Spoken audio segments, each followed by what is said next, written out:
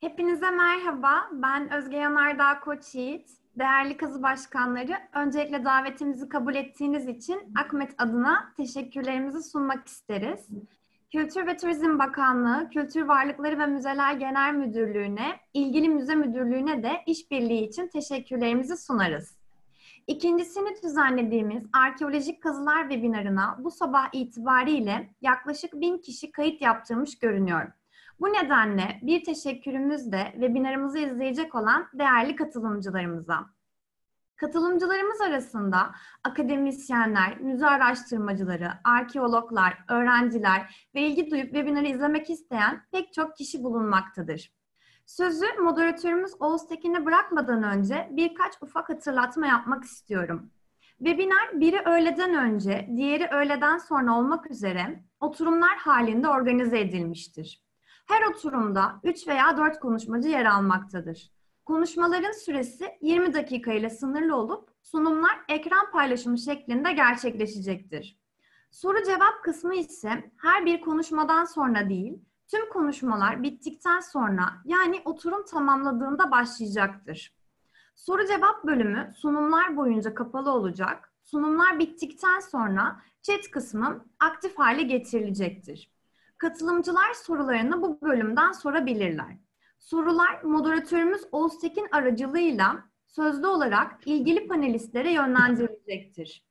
Sunumu yapan panelist dışında diğer panelistlerin kamera görüntülerini ve seslerini kapatmalarını rica ediyoruz. Oturumların sonunda soru cevap bölümünde o oturumda sunum yapan panelistler kapalı olan görüntü ve seslerini açabilirler. Sunumlar sırasında oluşacak olan herhangi bir aksilik yüzünden Zoom kapanırsa size gönderilen aynı link üzerinden tekrardan giriş yapabilirsiniz. Zoom üzerinden canlı olarak yaptığımız kazı webinarını aynı anda Akmet'in YouTube kanalı üzerinden de canlı olarak izleyebilirsiniz. Sunumlarımız yasal gereklilik nedeniyle hem YouTube hem de Zoom üzerinden kayıt altına alınmaktadır. Şimdi sözü moderatörümüz Oğuz Tekin'e bırakıyorum. Buyurun hocam. Özge Hanım çok teşekkür ederim. Ee, Kültür ve Turizm Bakanlığı, e, Kültür Varlıkları ve Müzeler e, Genel Müdürlüğü ile e, Burdur, Isparta, Denizli, Muğla e, İl Kültür ve Turizm Müdürlüklerine ve Müze Müdürlüklerine işbirliği için e, çok teşekkür ediyorum. Efendim ben e, kısaca e, Akmet olarak bilinen Koç Üniversitesi Suna İnan Kıraç Akdeniz Medeniyetleri Araştırma Merkezi'nin düzenlediği arkeolojik kazılar webinarının ikincisine hoş geldiniz diyorum. E, Akmet'i pek çoğunuz e, tanıyorsunuzdur ya da duymuşsunuzdur. Akmet olarak kendimizi Türkiye'deki arkeoloji, sanat tarihi ve tarih çalışmalarının, araştırmalarının, e, faaliyetlerinin e, merkezinde e, konumlandırıyoruz. Bu nedenle hemen her yıl düzenli olarak ayda ilk de iki defa meslektaşlarımızı e, konferans vermek üzere Antalya'ya Akmet'e davet ediyoruz. Büyük sempozyumlar, e, workshoplar, yaz okulları, sertifika programları düzenliyoruz. Yayınlar yapıyoruz. Yaklaşık e, 15-20 gün sonra a, numizmatik ve para tarihi yaz okulumuzun dördüncüsü başlayacak. E, bu yıl ilk kez e, pandemi nedeniyle e, Zoom üzerinden online düzenleyeceğiz. Fakat doğrusunu söylemem gerekirse bu kadar yoğun bir talep olacağını hiç düşünmemiştik. Akmet olarak verdiğimiz burslarla, desteklerle pek çok yüksek lisans ve doktora tezlerine, projelere destek veriyoruz. Çoğu Türkiye'den bir kısmı yurt dışından olmak üzere pek çok araştırma projesinde e, Akmet'in katkısının olması için e, gurur kaynağı. Son birkaç yıldır başlattığımız iki burs türünden biri de kütüphane araştırma desteğidir. Özellikle yüksek lisans ve doktora öğrencilerine ama e, kontenjan el verdiği ölçüde öğretim üyelerine de e, Akmet Kütüphanesi'nde gelip çalışma e, yapmaları halinde konaklama imkanı sağlıyoruz. Şu an Akmet Kütüphanesi Türkiye'nin en zengin arkeolojik kitaplıklarından e, birine sahip. Numizmatik alanında ise e, sanırım e, ilk sıradayız. Ve yine birkaç yıldır sürdürmekte olduğumuz post doktora yani doktora sonrası araştırmacılar programıyla araştırmacıları Akmet'te 6 veya 9 aylık sürelerle istihdam ediyoruz. Doktora da araştırmacılar belirledikleri veya bizim e, önereceğimiz bir projeyi e, Akmet'te yürütüyorlar. Umarım sizlerin de yolu e, bir gün bir vesileyle Akmet'e düşer e, diyelim ve sözü e, webinarımıza getirelim. Şimdi ilk webinarımız bu ayın başında gerçekleşmişti. Haziran başında, 1-3 Haziran'da ve Antalya il sınırları içinde yer alan öğren yerlerinde yürütülen 17 arkeolojik kazı ele alınmıştı ve 3 gün sürmüştü. Bugün de Akmet Arkeolojik Kazılar webinarının ikincisinde e, yine birlikteyiz. Yine diyorum çünkü yapılan kayıtlardan ilk webinara katılan pek çok e, kişinin bu webinara da kayıt yaptırdığı e, anlaşılıyor. İlk defa izleyecek olanlar içinse güzel bir üç gün e, geçirmelerini diliyorum. Aslında üç gün, üç gece diyeseyim, diyeceğim geliyor ama o kadar değil tabii. Webinarımız pazartesi, salı ve çarşamba günleri biri öğleden önce, diğeri öğleden sonra olmak üzere her gün iki oturum olarak kurgulandı.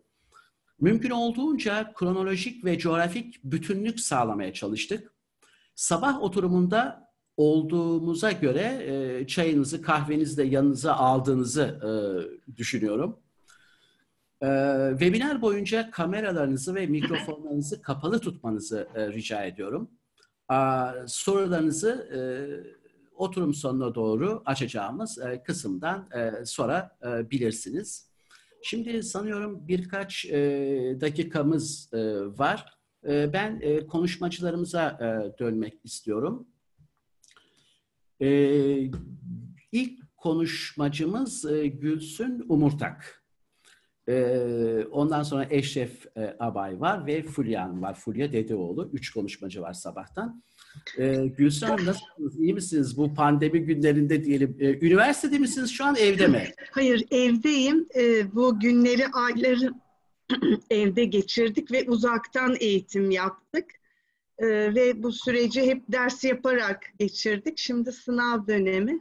Fakülteye fazla gitmemeye çalışıyoruz. İstanbul'da bu e, salgının çok odak noktalarından bir tanesi biliyorsunuz. Evet. Onun için evden yönetiyoruz her şeyi. Peki bu yaz kazıya gidecek misiniz ya da araştırmaya? Ee, tabii e, kazılar yapılacak gibi görünüyor. Ancak biraz tabii daha, e, daha biraz değil çok dikkatli, biraz öğrenci sayısını e, çok azaltmayı düşünüyorum. E, bir şekilde bu süreci öyle atlatacağız. Dilerim zarar görmeden.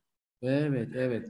Ee, umarım her şey yolunda gider diyelim. Evet. Yani biz de Antalya'da e, bekliyoruz. Evet. Ee, evet. Özledik araştırmaları, çalışmaları. Evet, evet. Ee, Eşref yani gideceğiz. Ha, tabii, tabii. Eşref Hocam merhabalar. Merhaba. Ee, nasılsınız diyeyim, iyi misiniz? Teşekkür İz, ederim. İzmir'de misiniz yoksa? İzmir'deyim, evet. İzmir'de, evde, üniversitede? Evdeyim. Evde. Çok güzel. Yani bu eve çok alıştık biz. olacak bilmiyorum. Evet. Yani e, öte yandan e, çalışmalarımız da iyi gidiyor aslında. Yani makale, kitap vesaire. Evet. Ve sadece tabii kütüphane, ben şimdi burada Akmet'te şanslıyım yani yakın olduğu için ama e, sizlerin de kitaba ulaşma şansı olursa e, tabii her şey iyi gidecek. E, neler yapıyorsunuz? Nasıl geçiyor günler? Bizim de yani e, Gülsüm Hoca'nın söylediği gibi biz de dersleri evden yapıyoruz. E, bazen görüntülü bazen sisteme yüklüyoruz dersleri. Ödev veriyoruz, onları okuyoruz. Yani diğer çalışmalarımızı yapıyoruz. Okula ara sıra gidiyoruz tabii. Yani e, çünkü imzalar oluyor. Bazen e, kitap ihtiyacı oluyor. Okulda olan kitaplardan gidip almak gerekiyor. Bu şekilde e, sürdürüyoruz. Yazın çalışma var mı kazı? Tabii bizim çalışmamız e, yani bu Haziran sonunda başlayacak. Biz de Gülsüm Hoca gibi e, öğrenci sayımızı azaltarak, daha dikkatli hareket ederek e, sürdürmeyi düşünüyoruz bu yaz çalışmamızı. E, fakat yani bilmiyorum ne kadar yani eski şekilde öyle yoğun bir çalışma olacağını düşünmüyorum hiçbir kazıda. Bizde de herhalde daha az alanlarda, daha kontrollü bir şekilde çalışma yapacağız. Tabii tabii. Yemek masaları kurulacak ama evet. arada mesafeler var, işçiler vesaire. Çok şey evet ilginç yani pandemiyle beraber bakalım hayatımız ve arkeolojide neler olacak bekliyoruz. Fulya Hanım merhaba, hoş geldiniz. Merhabalar, nasılsınız? Ee, ne yapıyorsunuz, iyi misiniz? Siz de ünü- üniversitede değilsiniz yani yoksa evde misiniz? Evdeyim. Evdesiniz. Evdeyim. Kitaplık dolu arka tarafta maşallah. Evet, e, evet, iyi bir şey tabii bu. e, Kütüphanenizin evde olması. Evet, nasıl büyük gitti? oranda evde. Evet, evet. Nasıl geçiyor? İzmir'de sokağa çıkma e, vesaire nasıl Ya hayat? İstanbul'la koşut gitti aslında İzmir'deki tablo da çok iyi değildi biliyorsunuz. Ee, evdeydik genelde. Ee, çalışmalarımızı şeyden yürüttük. Ee, online eğitim üzerinden. O da değişik bir tecrübe oldu açıkçası. Ee, ben faydalı da olduğunu düşünüyorum belli açılardan. En azından bu vizyonun e, üniversiteye de gelmesi bağlamında. Ee, şu anda webinarlarda da takip ediyoruz. O da bence arkeoloji iyi, iyi başardı bence bu süreci iyi yürüttü, fırsata çevirdi. Evet, evet. Öyle O alanda da önemli. Evet, İlk, evet. ilk webinarınızı da takip etmiştim. Çok iyi bir fikir. Bu arada çok teşekkür ediyorum davetiniz için, böyle bir organizasyon da yaptığınız için. Valla biz de biz de e, sizlere teşekkür ediyoruz. E, Bakanlığımız da, genel müdürlük de çok olumlu baktı, yaklaştı zaten. E, Dolayısıyla e, umarım her şey iyi gider. E, Kazıya gidecek misiniz siz de? Gideceğiz yani Haziran sonu Temmuz başı gibi biz de e, uzman gruplarla gitmeyi planlıyoruz. Yani doktora ve master düzeyinde öğrencilerimizle şimdilik çizdiğimiz tablo bu. Küçük bir grup. Hı hı, Bakalım e, biraz daha deneyimleyeceğiz bu süreci de. hı. Umarım iyi gider her şey. Umarım. E, Peki, e, ben şimdi e, saatime bakıyorum. E, Son bir dakikamız var. E, 10-15'te başlayacaktık. E, Gülsüm Hocam isterseniz siz Evet. ekran paylaşımını yapalım. Evet. Biz diğerleri de Eşref Bey de Fulya Hanım da videolarımızı da mikrofonlarımızı da kapatalım. Çok güzel. Çok çok teşekkür ediyorum. Ben şöyle bir önceden. Evet. E, şu an ekrana e, görüntü geldi. Bir bunu büyütebiliriz sanıyorum bir yerden. Evet. Ben tam ekran yaptım kendi bilgisayarımda. Aa, e, ta, ha, tamam şimdi oldu. Çok Evet. güzel. Tamam. Evet. E, o zaman ben de e, kendi videomu ve e, mikrofonumu kapatıyorum. E, süreyi e, size veriyorum fakat dediğim gibi 20 dakika ama tabii ki bunu biraz Evet. aşmanız falan hiç önemli değil. Evet. Evet. E, Teşekkür Teşekkür ediyorum. Evet, değerli meslektaşlar, arkeoloji dostları, sevgili öğrenciler, günaydın. Öncelikle bu toplantıları düzenleyen Koç Üniversitesi AKME'de değerli arkadaşım Oğuz Tekin ve AKMET çalışanlarına, emeği geçenlere teşekkür ediyorum. Ee, kazılarımızın genel tanıtımı ve 2019 sonuçlarını e, burada sizlere açıklama konusunda bir fırsat verdikleri için. Ee, Bizim e, Antalya ve Burdur e, yöresinde yaptığımız kazıların geçmişi 1976 yılında Profesör Doktor Yorum'la başlıyor. 1978 yılında başladığı Kuruçay kazıları ile bölgede günümüzde hala devam eden uzun soluklu bir kazı ve araştırma sürecini de başlatmış oldu e, tarihsel sıra düzen içerisinde söylersem Kuruçay kazılarını e, 1978-88 yıllarında yapılan bu kazıları e, 1989-92 yıllarında Höyücek kazıları haritada görüyorsunuz ve o bittikten sonra hemen Antalya'nın 50 kilometre kuzeyindeki Badem Ağacı'nda 1993-2010 yılları arasındaki kazılar e, sürdürdü. Bu arada e, İngilizler tarafından 1950'li yılların ikinci yarısı kadar kısa süre kazılan Hacılar e, yakınında da James Mellart'ın nekropol olarak işaretlediği e, yerde bir mezarlık olup olmadığını araştırmak üzere kısa kazı e, iki kazı dönemimiz olmuştu. E, daha sonra 2010 bir yılında ise e, haritada görüyorsunuz hacıların hemen 400 metre kadar yakınındaki e, hacılar Büyüköyük'te kazıya başladık. Bölgede çok uzun soluklu 40 yıllık bir araştırma ve kazı sürecini bugüne getirmek ve bütün bu yapılan çalışmaların final yayınlarını yani tabii ki yıllık raporları daima eksiksiz yapılmıştı ama sonunda final e, kitaplarını da çıkarmış olmaktan dolayı bize bu desteği daima sağlayan ülkemize olan borcumuzu ödemiş olmaktan dolayı son derece mutluyuz. Bu nedenle size e, bu kazılardan birer slide gösteriyorum. Yani kuru çayın Neolitik çağın sonlarına ait kuleli surlarla çevrilmiş, gelişmiş bir köy yerleşmesi, boya bezekli çanak çömlekleri, aynı yerleşmenin dördüncü bin yıldaki e, geç kalkolitik çağ kasabası, ve buluntularıyla 30 yıldan fazla bir süre geçmesine rağmen e, Anadolu'da tam bir paraleli bulunmamış olan bu yerleşmeden söz etmeden geçemedim. Hacılar Nekropolü'nü arama çalışmalarını, e, Melart'ın çanak çömleksiz neolitik dediği tabakalarda bulduğumuz çanak çömleklerle yeni değerlendirmelere yol açtığı dönemi. Ve nihayet Bucak yakınlarındaki Höyücek'te küçücük bir höyükte bir e, çok kapsamlı Neolitik çağın erken dönemlerine yani milattan önce 6450 dolaylarına tarihlenen bir tapınakta en kutsal odaların e, restitüsyon çizimlerini, hava fotoğraflarını görüyorsunuz ve onu izleyen dönemde kutsal alanlarda sanki çevrenin bir ziyaret yeri, dinsel bir haç yeri gibi düşünebileceğim kutsal alanlar çıkan 90 kadar figüründen bir kısmını da buraya koymadan edemedim. Ve nihayet Antalya ili sınırları içinde olan badem ağacı bizi 18 yıl konuk etti.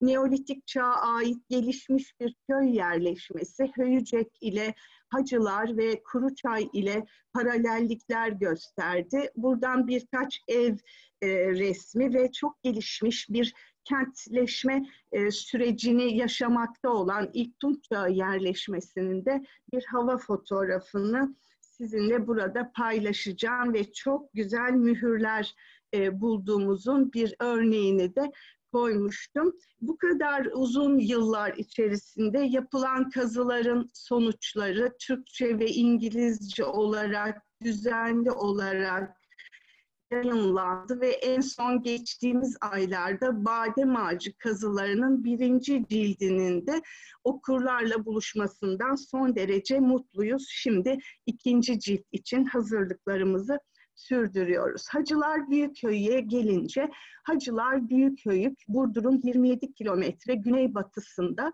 ve e, bu resimde gördüğünüz gibi e, eski Melart'ın hacılarının 400 metre kuzeyinde yer alan büyük bir höyük. İlk kez höyüğe gittiğimizde hava fotoğrafı böyle sanki pabuç şeklinde bir üst kısım düz ve e, sarp yamaçlardan oluşmaktaydı. Alttaki e, resimde ise 27 Temmuz 2011 günü Höyü'ye ilk kazma vurduğumuz dakikaları sizinle paylaşmak istedim. Kazıların 9. yılında özellikle savunma sistemi ve iç kesimdeki e, kamusal yapıları, e, e, özel yapıları araştırmak amacıyla açtığımız açmalardan e, söz etmek isterim. Höyü e, çevresini e, planda gördüğünüz gibi kazamatlı bir sur sistemi yani zincir gibi birbirine bağlanan odalardan oluşan testere dişi şeklinde girinti ve çıkıntılarla yerleştirilmiş bir sistem çevirmektedir. Kazıların 9. yılında yani e, 2019'da bu batı yamaç boyunca açtığımız açmanın boyu 350 metreye ulaştı ve şu ana kadar kazılan kazamat sayısı da 45'i buldu. Bu arada daha önce tam bu batı yamaçtaki e, savunma sisteminin merkezinde bir batı kapısını kazmıştık. 2019 yılının belki de en önemli mimari e, buluşu e, ortaya çıkan somut arkeolojik bulgusu güneyde yer alan Güney Kapısı adını verdiğimiz diğerine göre daha büyük bir kapı oldu. E, ve aynı levhada sizlere şu ana kadar saptanan tabakalaşma durumunu da vermek istedim. En alt tabakalarda e, erken kalkolitik çağ yerleşmesi olduğuna ilişkin bazı hacılar bir türü boya bezekli, bant boya bezekli çanak çömlek parçaları e, giderek sayıca artmış durumda. E, daha sonra ilk tunç bir özellikle vurguladığımız ve kaz, kazmayı sürdürdüğümüz tabaka ilk tunç 2 e, dönemini ise e, köyün merkezindeki açmalarda kırmızı ile gösterilen e, alanlarda planda saptadık. İlk Tunç 3'e ait ise e, geçmiş yıllarda bulduğumuz çok güzel kaliteli bir depas acaba Höy'ün bir kesiminde bir ilk Tunç 3 yerleşmesi var mıydı sorusunu sormamıza neden oldu. Daha altta ise karbon 14 analizlerinden birkaç örnek verdim. Bu tarihler bizim arkeolojik e, saptamalarımızla bir paralellik göstermektedir. Höyü çevreleyen savunma sistemini oluşturan odacıklar, odalar, evler ya da kazamatlar e, hafif dörtgen, yamuk dörtgen şekilde hava fotoğrafından da görüldüğü gibi ve bunlar e, dairesele yakın bir yerleşme planını oluşturmak üzere testere dişi şeklinde ortalama 2-2,5 metrelik girinti ve çıkıntılarla önceden planlanarak son derece ustalıkla yerleştirilmiştir.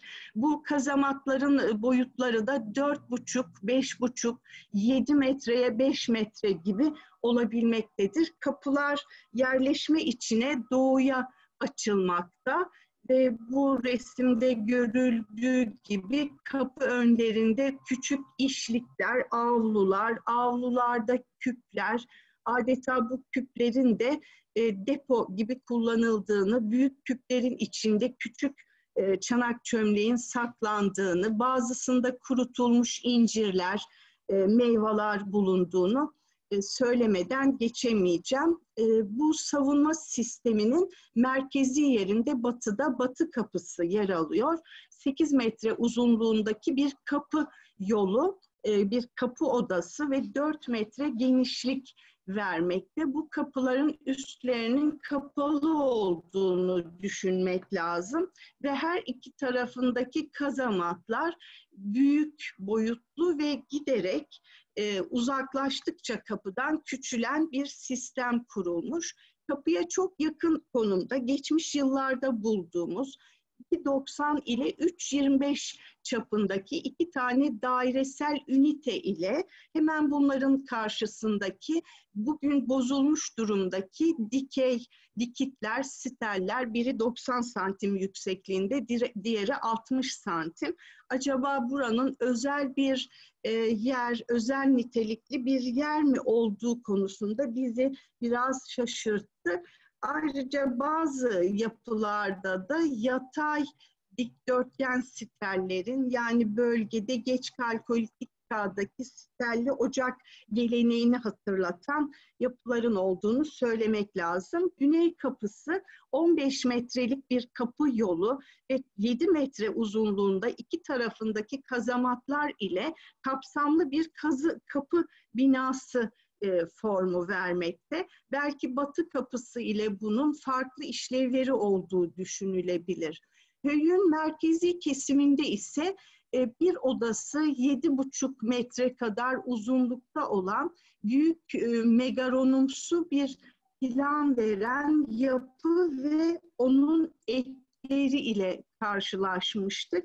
Çok büyük boyutlu küplerin avlusunda yer aldığı bu yapının hemen yakınında hücre planlı küçük yapılar ve iki tane de e, megaron, birisi megaron kalıntısı, diğeri de megaron olarak karşımıza çıktı. Bir propilon olarak belki bir iç kenti çevreleyip çevrelemediği de tabii düşünülebilir. Son yılların önemli bir çalışması da kuzeyde bulunan istinat yani dayanak duvarı.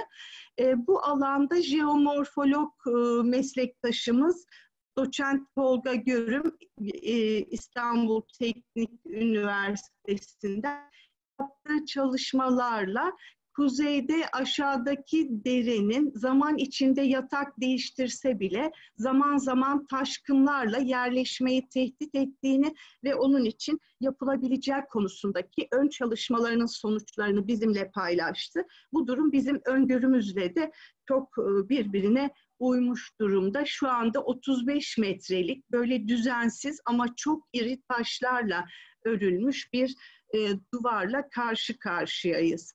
E, burada yerleşmenin tabii yöneticisinin ve o zamanın mimarı olan yapı ustalarının önceden planlamasıyla yapıldığı mutlaka düşünülmelidir. Çevrenin bir e, yöresel krallık olduğunu ve kentleşme sürecinin içinde olduğunu düşünüyoruz. Bu kadar e, güçlü bir savunma sisteminin ise ki kent dışına bakan testere dişi yapan duvarların temellerin yüksekliği 2 metre, genişlik ise 1.60 metrenin altına düşmemektedir. E, bu sistemin yerleşmenin sakladığı bir zenginliği korumak için bir, İkincisi ise dışarıdan gelecek gelen tehditlerin çok güçlü olmasından kaynaklandığı düşünülebilir. 2017 yılında Antalya'daki koruma kuruluna verdiğimiz proje kabul edildi ve geri dönüştürülebilir basit onarımlarla bu ilginç ve tam benzeri olmayan savunma sistemini koruma altına aldık. Yörede geren denilen bir tür kil üstte kalıplar halinde görüyorsunuz.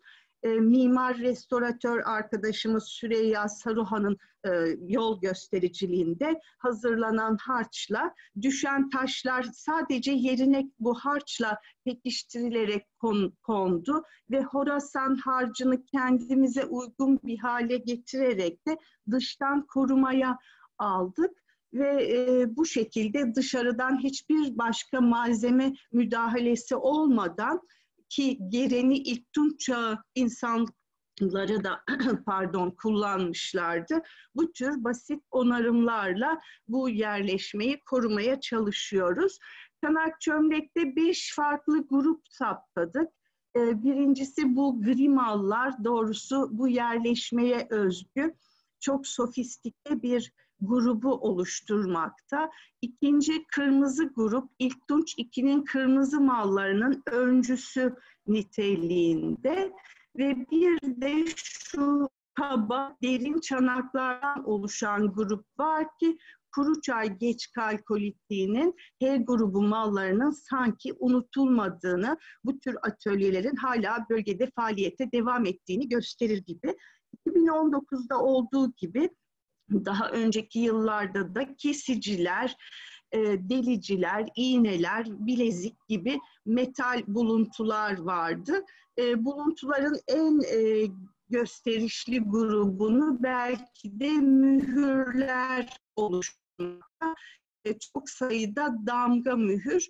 Bizi hep badem ağacında 120 tane mühür bulmuştuk ilk tunç çağı tabakalarında e, ve burada da hem de badem ağacında bulduğumuz bazı mühürlerde kullanılan işaretlerin yinelenmesi şeklinde görünce doğrusu çok memnun etti. Belki önümüzdeki 10 yıllarda e, yazının öncesinde e, insanların bölgede aralarında ortak bir işaret dilini kullandıkları konusundaki varsayımımız da gerçeğe dönüşebilir. Size en güzel eski mühürlerden iki tane büyük mühürü buraya koydum ama yeni mühürlerde küçük parçalardı. Ayrıca idol geleneği çok çeşitli olarak devam ediyor. Sadece e, pubis modelleri var çakıl taşından veya aşağıda gördüğünüz gibi minik mermer idoller yanında pişmiş topraktan farklı e, idol modellerini de e, burada görüyoruz. Bu yerleşmenin insanları tarım yapıyorlardı. E, sığır, koyun, keçi, domuz, köpek evcil hayvanlardı. E, yerleşmede köpek e, kafa tasları çok fazla e, ve bunu bize söyleyen arkadaşımız BAD Kupere'yi de burada teşekkürle anıyorum. E, yaban hayvanları arasında da yabani domuz, geyik türleri, panter, aslan pençesi e, ve karaca, çeşitli kuş türleri, sincap, suda yaşayan bir takım hayvanlar, kuşlar faunayı oluşturuyor. Ee, çevredeki bitki örtüsünü e, bize gösteren bir ağaç kalıntımız vardı. Bugün de Burdur çevresinde çok fazla olan Pinus nigra türü bir çam e, kalıntısı belki bir mobilya olarak kullanılmıştı. Onun dışında keten tohumu, e, buğday, arpa, einkorn, emer buğdayları, bezelye, nohut e, tükettiklerini biliyoruz. Hardal otu, incir ve üzüm tükettiklerini de öğrendik bu insanların. E, bir şekilde yöresel bir e, daha kapsamı dar olan bir e, ticaretle de geçindikleri düşünülebilir. Tabii yerleşmenin merkezi kesimlerinde ileriki yıllarda çalışmalar e, arttığında e, bir sponsor bulabilirsek ki şimdiye kadar bulamadık, e, bu konuda daha geniş alanları kazarak yerleşmenin gerçek zenginliği, sosyal yapısı, ilişkileri konusunda daha fazla bilgi edinebileceğimizi e, düşünüyorum. Bizi kazıların ilk yılından itibaren destekleyen iki ana e, sponsorumuz var. Kültür ve Turizm Bakanlığı, Kültür Varlıkları ve Müzeler Genel Müdürlüğü ve İstanbul Üniversitesi Rektörlüğü Bilimsel Araştırma projelerinin daima desteğini aldık. Bunun dışında yerel yöneticilere de teşekkür borçluyuz. Özellikle Burdur Valiliği, İl Özel İdaresi, Burdur İl Kültür ve Turizm Müdürlüğü, Arkeoloji Müzesi ve bizi daima koruyan zaten Hacılar Karakolu eski Melart dönemi kazılarının e, ardından gelişen olaylar nedeniyle kurulmuş tarihi bir karakoldur. Biz e, korumamızı da Hacılar Karakolu'na borçluyuz ve son olarak da belediye başkanlığı bütün bu yerel güçlerimize e, ayrıca teşekkür borçluyuz kazılarımıza 9 yılda emek veren herkese ama burada isimlerini liste halinde verdiğim e, 2019 kazılarına katkıda bulunan meslektaşlarımıza, öğrencilerimize, herkese teşekkürlerimi sunuyorum. Ama en büyük teşekkürüm de Profesör Refik Duru'ya. Onun başlattığı bu 40 yıllık çalışmalar olmasaydı şimdi onursal başkanımız e, biz bu kadar e, bu konuda e, gelişemeyecektik. Herkese teşekkürler ediyorum. Güzel, sağlıklı günler diliyorum sizlere de. Evet, e, Gülsün Hanım'a da çok çok teşekkür ediyoruz. Gerçekten çok güzeldi. Ve tabii fotoğraflar da çok güzel. Yani görsellik e, önemli. Yani hiç e, sadece fotoğrafları izleyerek bile bir okuma yapılabilir. E, keramiklerin çizimleri olsun, e, boyaları vesaire her şey e, çok iyi. Teşekkür ederim. E, Refik Bey, Refik hocamıza da tabii burada katkıları var. Muhtemelen bu yöredeki evet. bu, e, evet. gibi. E, ben de kendisine selamlarımı ve saygılarımı iletiyorum. E, üniversitede hocamdı ve çok sevdiğimiz, saydığımız bir kişi.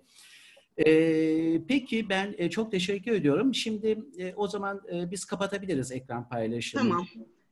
Kapatmaya çalışacağım ben tamam, de şimdi. Teşekkür ederim. Hı hı. E, mikrofon ve videoyu da kapattıktan sonra evet tamam çok teşekkür ederim. Şimdi e, sırada e, Eşref Abay var. Eşref Abay e, kendisi bize Beyce Sultan e, höyüğünü anlatacak. Beyce Sultan da tabii e, çok eski bir e, yerleşme, Neolitik ya da Kalkolitiğe kadar giden bir yerleşme. E, Eşref Hocam başlatabilirsiniz isterseniz e, ekran paylaşımını.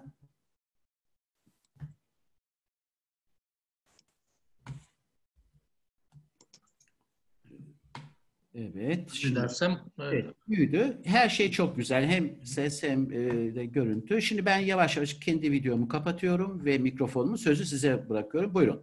Tamam. Çok teşekkür ederim. Özellikle e, Oğuz Hocam e, bana da bu imkanı e, verdiğiniz için ve Beyce Sultan'ı tekrar en azından bu yılda e, yapılan çalışma, 2019 yılında yapılan çalışmalar ve daha önceki çalışmaları e, sizlerle paylaşmam için ee, sizin de söylediğiniz gibi Beyce Sultan tabii çok eski bir yerleşim yeri, e, eski, e, çok önceden de araştırılmış.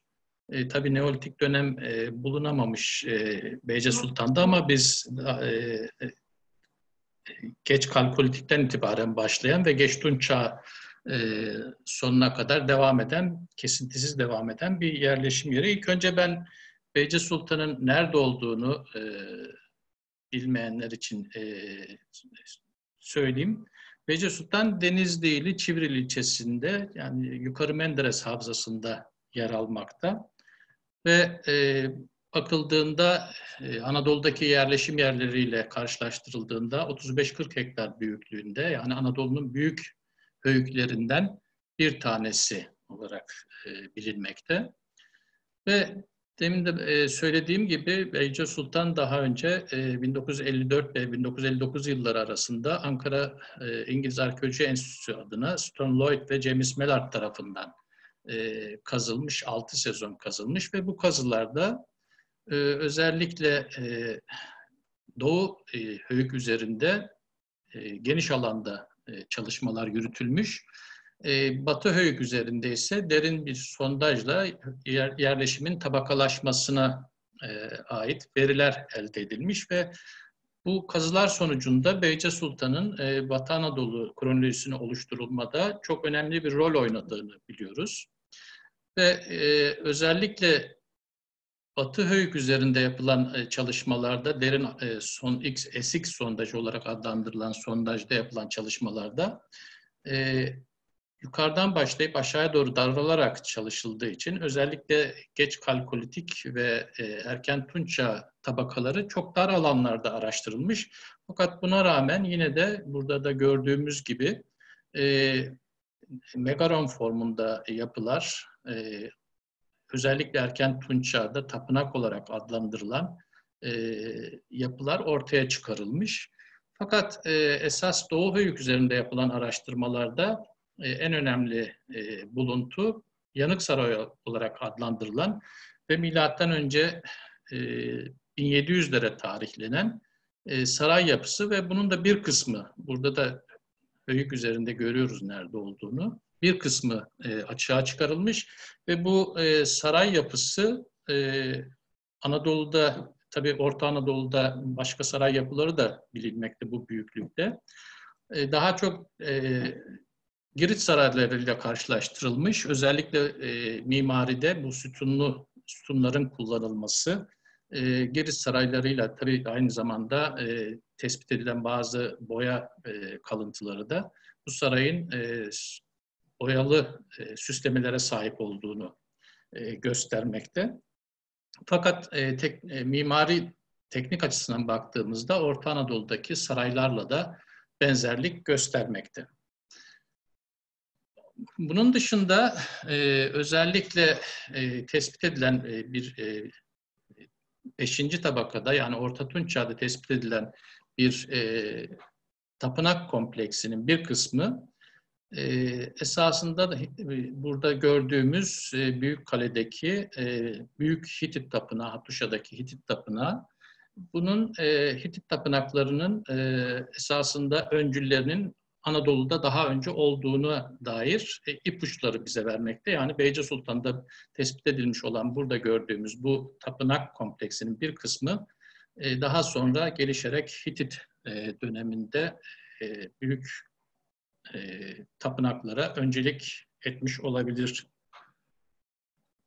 Bunun dışında eski kazılarda tespit edilen başka bir e, tabaka ise e, eski, e, eski tabakalaşmaya göre ikinci tabaka olarak adlandırılan ve geç Tunç çağına tarihlenen, daha doğrusu 13. yüzyılın sonu, on, e, erken 12. yüzyıla tarihledikleri kazıcıların e, bir şehir, e, e, şehrin, e, pla, iyi planlanmış şehrin bir kısmının açığa çıkarıldığını görüyoruz ve burada gördüğümüz gibi 3-3,5 metre genişliğinde doğu batı yönünde uzanan çakıl döşemeli e, caddelerin e, ortasına ve yanlarına e, evlerin yerleştirildiğini ve çok odalı, zengin bir e, evlerin olduğunu e, biliyoruz. Bu eski kazılardan tespit edilmiş verilerdi.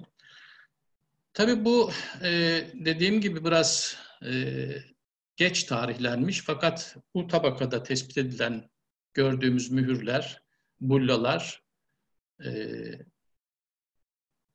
mühür örnekleri e, bu tabakanın esasında bu kadar geç değil, biraz daha erkene tarihlenebileceğini zaten e, e, izlerini vermişti. Bizim özellikle e, yaptığımız çalışmalarda, 2008 yılından itibaren e, yaptığımız araştırmalarda biz daha çok Höyük'ün, e, Batı Höyük'ün e, güney yamaçlarında, şurada gördüğümüz alanda yaklaşık e, 10-12 yıldır e, çalışmalarımızı sürdürüyoruz ve bizim e, Beyce Sultan'da e, kazılara başlamamızın e, birkaç amacı vardı. Birincisi e, Beyce Sultan, de, demin de söylediğim gibi e, geç kalkolitikten başlayıp e, geç Tunç çağı e, sonuna kadar kesintisiz bir tabakalaşma vermişti ve Batı Anadolu kronolojisi, kronolojisi için çok önemli bir yerleşim yeriydi. Bizim amacımız e, yeni kazı e, metotları ve yeni kazı teknikleriyle e, burada e, tekrar yeni bir kazıya başlamak, e, özellikle e, bu kronolojik problemleri e, bir kısmını e, yeni verilerle, yeni e, çalışma metotlarıyla e, gidermek ve aynı zamanda e, yerleşimdeki evreleri geniş alanlarda araştırarak sadece kronolojik ve stratigrafik olarak değil, aynı zamanda sosyal ve ekonomik olarak nasıl bir e, yaşam olduğunu Beyce Sultan'da ortaya koymaktı ve bu yüzden e, bu amaçla yaptığımız çalışmalar, şurada da gördüğümüz gibi Höyük'ün, Batı Höyük'ün güney yamaçlarında başladık ve e, burada e, elde ettiğimiz sonuçlarda şurada Beyce Sultan'ın eski tabakalanmasını görüyorsunuz. Burada ise bizim yaptığımız 10 yıllık süreç içinde yaptığımız e, çalışmalar sonucunda elde ettiğimiz tabakaları görüyoruz ve e, hemen üstteki bu batıya e, e, Batı Öğün Güney Yamacı'ndaki yaptığımız çalışmalarda Üstten e, Selçuklu Beylikler dönemine ait e, mimarisi çok iyi korunmamış, e, milattan sonra 13. ve 14. yüzyıllara tarihlenen bir yerleşimin olduğunu tespit ettik ve onun altında hemen çok e, güçlü bir Bizans yapılaşması bulunmakta. Bu da milattan sonra 12. ve 13. yüzyıllara e, tarihlenmekte. Bu alanda biz e, onun dışında büyük bir boşluk var. E, demir çağa ait herhangi bir e, tabakalaşma, e, mimari kalıntı bu alanda bulamadık. Fakat daha sonra e, dördüncü, beşinci ve e, tabakalarda bu alanda geniş alanlarda çalışma imkanı bulduk ve ben bugün de e, e daha çok bu 5 e, B ve 5A tabakasında elde ettiğimiz verileri sizlerle e, paylaşacağım. Bu diğer e, tabakalar e, dar alanlarda araştırdık. Henüz geniş alanlarda bu tabakaları araştırma imkanımız olmadı. Ve bunun e, bundan e, bu beş e, tabakada elde ettiğimiz verilerle yeni bir kronoloji Beyce Sultan'da Batı Anadolu için öneriyoruz. Özellikle beşinci tabakamızın Kültepe Karun bir ayla çağdaş olduğunu ve daha sonra da devam ettiğini, geç eski Hitit dönemine kadar devam ettiğini biliyoruz.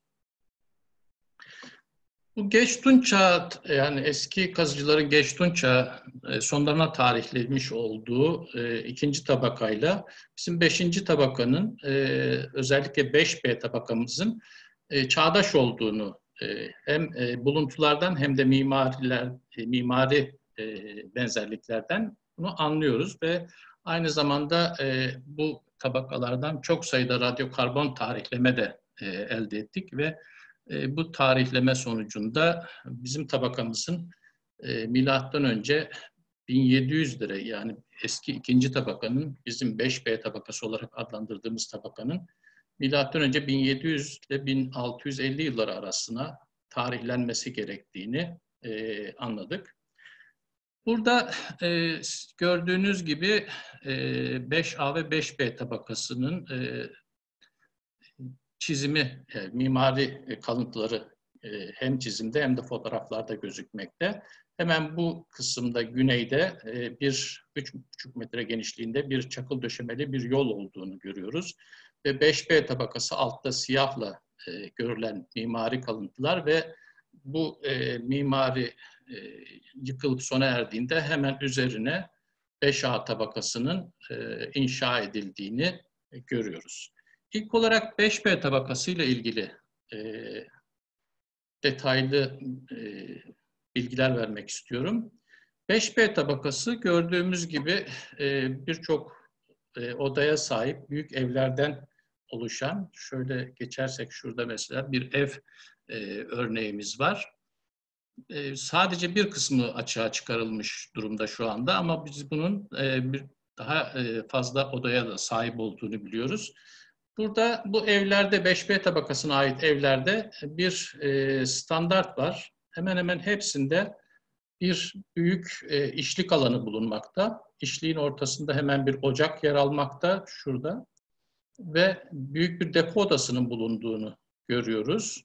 Ve onun dışında diğer odalara açılan e, ara odalar e, bulunmakta. Şurada şu evdeki gördüğümüz resimde görüyoruz. Hemen şu alt kısımda e, bir ocak bulunmakta. İşlik olarak kullanılan alan ve şu kısımda e, bu evin e, depo alanı olarak kullanılan kısmı. Burada depolarda e, gerek ambar şeklinde olan e, kilden yapılmış e, sandık şeklinde olan e, depolama kısımları bulunmakta. Gerekse yaklaşık bir buçuk metre yüksekliğinde e, büyük küplerden oluşan ve e, bir depolama e, sistemi olduğunu biliyoruz ve bu depolamaların içinde çoğunlukla burçak ya da e, tahıl depolandığı anlaşılmakta. Burada da bu tahılların bir kısmının e, bu yangın sonucunda kalınmış halini görmekteyiz. Tabi aynı zamanda e, bu yapıların içinde çok sayıda e, günlük işlerde kullanılan, üretim faaliyetlerinde kullanılan e, aletler ve çanak çömleğin bulunduğunu e, biliyoruz. Bir başka ev yine e, bu alanda, e, burada da çok e, hemen şurada gördüğümüz ev, şurada. E, burada gördüğümüz gibi yine standart şekilde ortada bir ocak ve etrafında yine işlik olarak kullanılan kısımlar. Büyük bir depo odası, hemen şurada gördüğümüz e, büyük küplerden oluşan e, bir depo odası ve onun dışında diğer e, mekanlara açılan e, kapıların bulunduğu olasılıkla birden fazla mekana açıldığı anlaşılmakta. Tabi bu alanda özellikle ev içi e, üretimde çok e, yoğun bir ev içi üretimin olduğunu biliyoruz. Burada e, ağırlıklı olarak burada yine bu evlerden bir tanesinin e, yanmış ve bütün buluntuların institü olarak tespit edildiği bir mekanı e, görmekteyiz. Özellikle biraz önce gösterdiğim evde tespit ettiğimiz, şu alanda tespit ettiğimiz e, buluntular bu evlerde yoğun olarak dokumanın, dokumacılığın da yapıldığını bize göstermekte. Şöyle bakacak olursak, e, şurada dokuma e, tarağı olarak, e, ağaçtan yapılmış dokuma tarağı, kirkit olarak adlandırılan tarak, şurada tekstil parçaları yanmış vaziyette. Burada ağırşaklar, e, şurada gördüğümüz kemikten yapılmış tekstil e, imalatında kullanılan e, mekik, kemikten yapılmış. E, bunlar dediğim gibi e, bu evlerin içinde işlik bölümünde e, ele geçen standart buluntular olarak karşımıza çıkmakta. Tabii bunun dışında e, bronzdan yapılmış taş aletler, e, aşık kemiklerinin birçok e, evde e, çok sayıda e, bu 5B tabakasına ait yapıların içinde olduğunu tespit ettik. Burada gördüğümüz bu kemik e, mekik esasında e, esas formu şurada gördüğümüz e, şekildeymiş. Daha sonra kırılmış ama kırıldıktan sonra da kullanılmaya devam edildiği anlaşılmakta. E, kazıdan çıktığı şekilde şurada gördüğümüz e, ve şurada bir e, deliği bulunmakta ve şurada da bir açık kısmı bulunmakta. Olasılıkla dediğim gibi dokumada kullanılan mekik olarak işlev görmüş.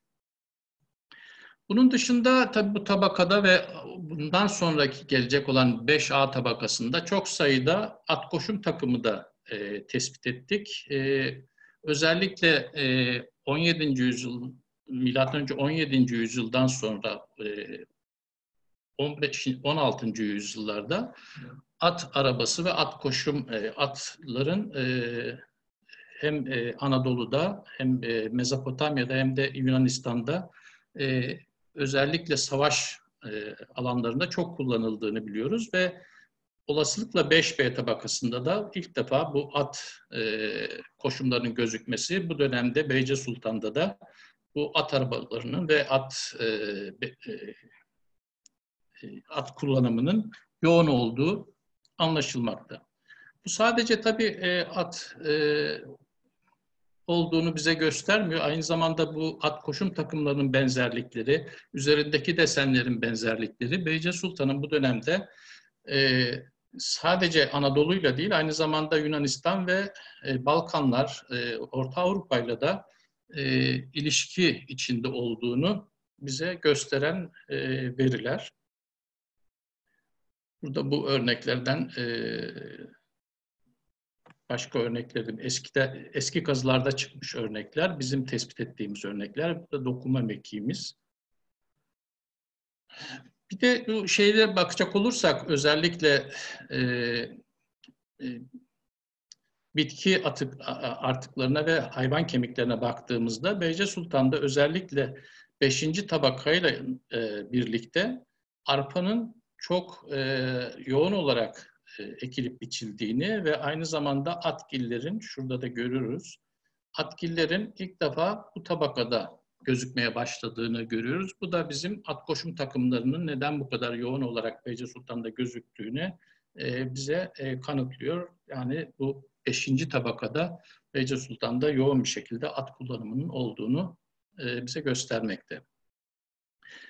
Buradaki e, topografik plan üzerine hem e, eski kazılar ikinci tabaka olarak adlandırdığımız ve bizim 5B tabakamızla çağdaş olan tabakayı yerleştirdiğimizde bizim kazdığımız alan şurası 5B tabakamızın ve 5A tabakamızın olduğu kısım. Burada ise e, eski kazı verilerinde ikinci tabaka olarak adlandırılan bu Geçtun çağ tarihlenen yapıların olduğu kısım. Yani ikisi de çağdaş e, dönemler. Gördüğümüz gibi doğu-batı yönünde uzanan büyük caddeler bulunmakta. Burada da aynı şekilde ve e, geçen yıl yaptığımız georadar araştırmalarında bu kısımda bir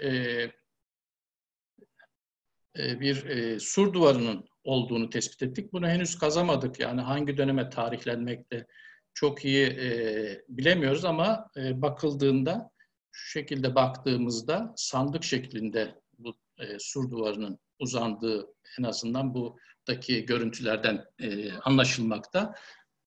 Buradan da bizim e, özellikle bu e, önce 1700'lerde e, Beyce Sultan'ın gerçekten büyük bir höyük ol, yani büyük bir e, kent olduğunu ve etrafının da gördüğümüz gibi sur duvarlarıyla çevrelendiğini ve e, bu e, yerleşimin e, ekonomik olarak e, demin de gördüğüm, e, daha önce de gösterdiğim gibi her evin kendisine ait depo odaların olmasından dolayı e, otonom e, ekonomiye sahip e,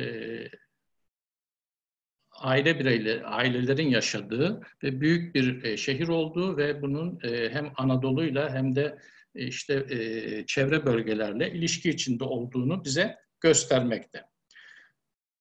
Bu yerleşim 5B e, evresi çok büyük bir yangınla sona erdiğini görüyoruz. Özellikle her e, mekan içinde e, birden çok e, insan iskeletini tespit ettik. Burada gördüğümüz e, evin bir tanesinde bu depo e, ambarı, bu depo ambarı içine saklanmış vaziyette olduğunu e, düşündüğümüz bir iskelet. Ayrıca e, bu evinde hemen şurada gördüğümüz, şurada köşede gözükmekte bir küp var. Bunun içinde de bir e, iskelet tespit ettik. Olası, ve bu küp için iskeletin üzerine yıkılmıştı.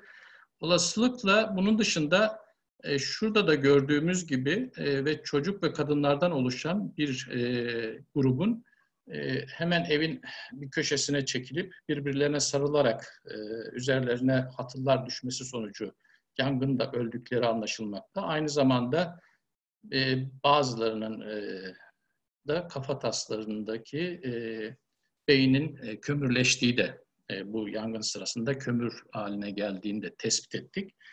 Ve e, bakıldığında e, herhangi bir deprem izi bu tabakada 5B tabakasında bulunmamakta ve olasılıkla e, bütün e, e, yer, e, mekanlar içinde bu kadar çok e, insan iskeletinin bulunması bir felaketin olduğunu bize göstermekte.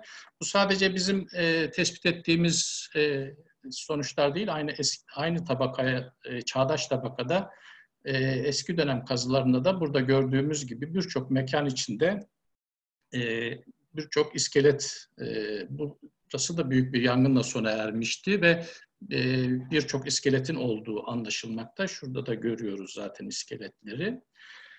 Ve e, sonuç olarak baktığımızda e, bu 5B tabakasında yaklaşık 1700-1650 civarlarına tarihlediğimiz bu tabakada e, büyük bir yangınla, bütün şehri kaplayan büyük bir yangınla sona erdiğini anlıyoruz ve bu e, da, bunun da sebebinin bir deprem olmadığını biliyoruz. Olasılıkla e, insanların evlerin içinde kalıp dışarı çıkamadıkları e, büyük bir yangının e, ortaya çıkması olasılıkla bir istila sonucu olmuş olduğunu bize e, işaret etmekte ve e, baktığımız zaman da böyle büyük bir e, şehri ateşe verecek ve istila edecek gücün e, özellikle 1. Hattuşil'in Batı Anadolu seferiyle olmuş olabileceğini düşünmekteyiz ve e, 1. Hattuşili 3. yılında bu Batı Anadolu'ya Arzava ülkelerine bir sefer yaptığını ve olasılıkla Beyce Sultan'ı da bu 5B tabakası eski e, ikinci tabak olarak adlandırılan tabakanın e, bu istila sonucunda sona ermiş olabilme ihtimalinin yüksek olduğunu düşünüyoruz. Daha sonra bu yıkıl 5B tabakası büyük yangından sonra nasıl değişime uğruyor? Yerleşim tabii terk edilmiyor, tekrar yerleşiliyor ve baktığımız zaman e, aynı evlerin e, duvarları kullanılarak tekrar yeniden inşa ediliyor. Fakat mimarinin değiştiğini fark ediyoruz.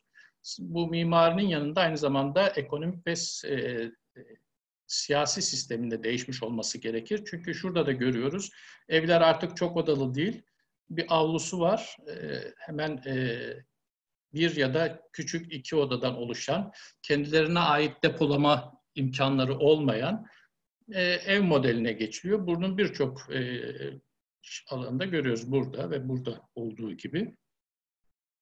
Yine aynı şekilde dediğimiz gibi bir ocak bulunmakta evlerin ortasında. Küçük bir odaları var. Şurada avlusu bulunmakta ve şurada da ana oda işlik olarak kullandıkları çok e, küçük e, üretimler yapıl, yapıldığı düşün, yapıldığını düşünüyoruz. E, bu şekilde bir e, yapılanmaya gidildiğini 5A tabakasında anlıyoruz. Fakat burada e, dikkat çeken bu yapı, e, evlerden ayrılan başka bir yapı var. Şurada gördüğümüz yapı. Bu yapı e, diğerlerinden farklılaşmakta. Birincisi oldukça büyük. E, büyük bir ocağı var ortasında e, ve e, depolama alanı var. Kendine ait bir depolama alanı bulunduğunu biliyoruz. Bu tip e, özellikle şurada gördüğümüz e, ocak daha önceki kazılarda da ortaya çıkarılmış, e, benzer tapınak olarak adlandırılmış e, ocaklara çok benzemekte. Aynı aşağı yukarı aynı e, envanteri vermekte. Gördüğümüz gibi bir standardı burada bulun, tanrı sembolü olan standart bulunmakta. Şurada da bizim bir tanesi var. Diğeri şuradaki kırılmış onu tespit edemedik. Fakat bakıldığında bunlarla birebir şuradaki kaplar, e, insan yüzlü kapların bulunduğu bir e, buluntu konteksi bulunmakta ve bu da bize bu yapının olasılıkla bir tapınak olduğunu göstermekte. Ve şurada da gördüğümüz gibi kendine ait bir depo odası oldukça zengin buluntularıyla e, bir tapınak yapısıyla karşı karşıya olduğumuz anlaşılmakta. Ama bu tabii aynı zamanda e, günlük işlerde de kullanıldığı, şurada tespit ettiğimiz öğütme taşları belki bir ritüellerde e, onu öğütmek için de kullanılmış olabilir, göstermekte.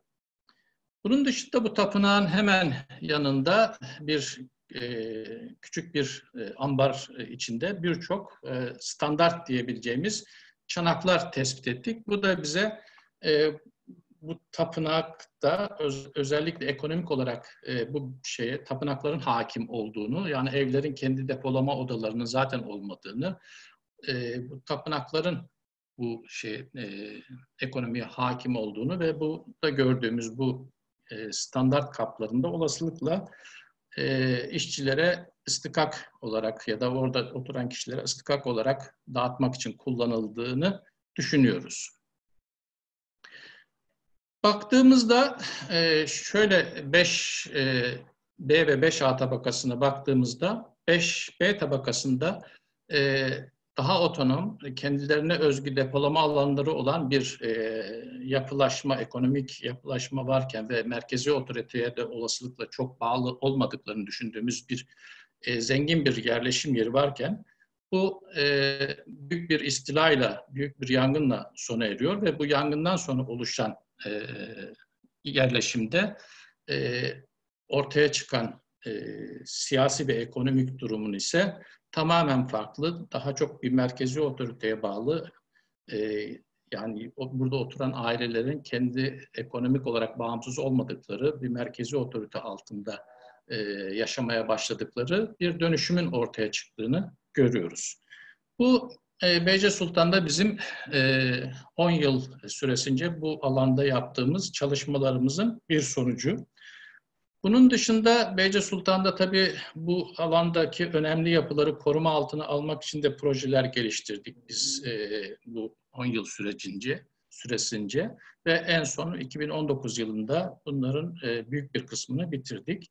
İlk olarak kalıcı koruma ve restorasyon çalışmalarımız vardı ve özellikle tapınak yapısını e, koruma altına almayı ilk önce planladık.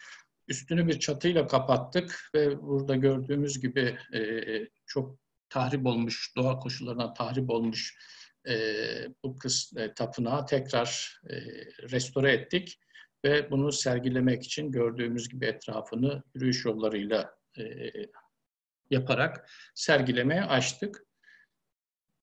Burada da bu çalışmalardan e, birkaç görüntü görüyoruz. Aynı şekilde. Tabii bunun dışında Beyce Sultan'da bizim bir e, çevre e, yürüyüş çevre yolu yürüyüş projemiz vardı ve bu da bitmiş durumda.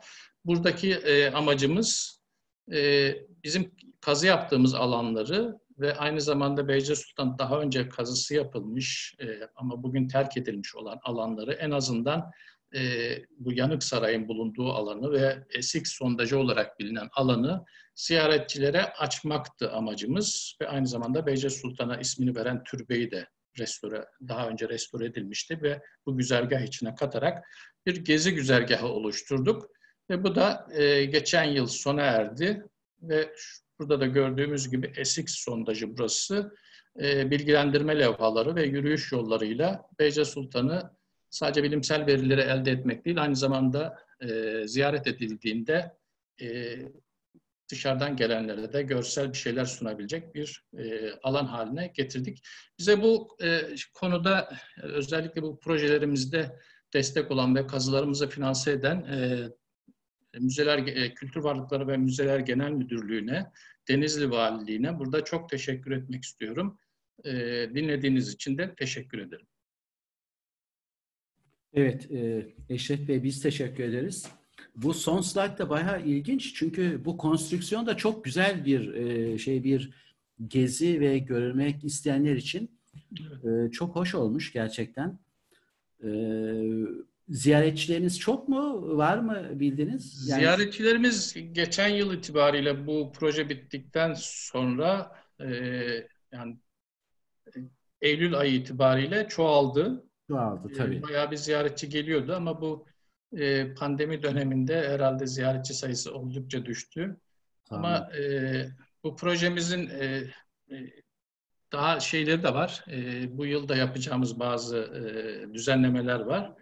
Olasılıkla herhalde bu süreç sona erdikten sonra e, ziyaretçi sayımız oldukça artacak. Bir de tabii e, bu gezi güzergah, özellikle turist rehberlerinde gezi güzergahlarına e, eklemek için de bazı çalışmalarımız var.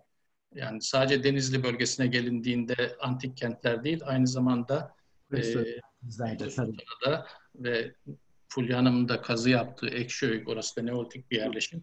Oraya da böyle bir gezi güzergahı oluşturma çalışmalarımız bulunmakta. Tamam, çok teşekkür ederim. Ee, siz de o zaman ekran paylaşımını kapatabilirsiniz. Ee, video ve daha sonra mikrofonu da. Evet, Fulya Hanım'la. Tekrar merhaba. Merhabalar. Ee, Fulya Hanım da bize Ekşiöyük e, hakkında bilgi verecek. O da Denizli'de. Evet evet Denizli'de e, Beylikdüzü'nde. Şey, 5-6 yıl mı oldu? Ne kadar oldu bilmiyorum. Daha çok yeni 4 kazı sezonu tamam. Sezonu. Beşincisini gerçekleştireceğiz. Daha çok yeni bir proje. O yüzden de herhalde kapsamlı sonuçları ilk olarak burada sunmuş oluyor. Böyle bir özelliği de var sizin tamam. programınızda. tamam. E, şimdi e, bu internette ve mikrofonda bir sorun olmaması için e, mikrofonla kendi mesafenizi genellikle aynı tutmaya çalışırsanız daha iyi olabilir. Bazen çünkü tamam. mikrofon şey yapabiliyor. Ben şimdi e, videomu kapatıyorum ve sesim... Sesim iyi mi şu anda benim? Sesiniz iyi.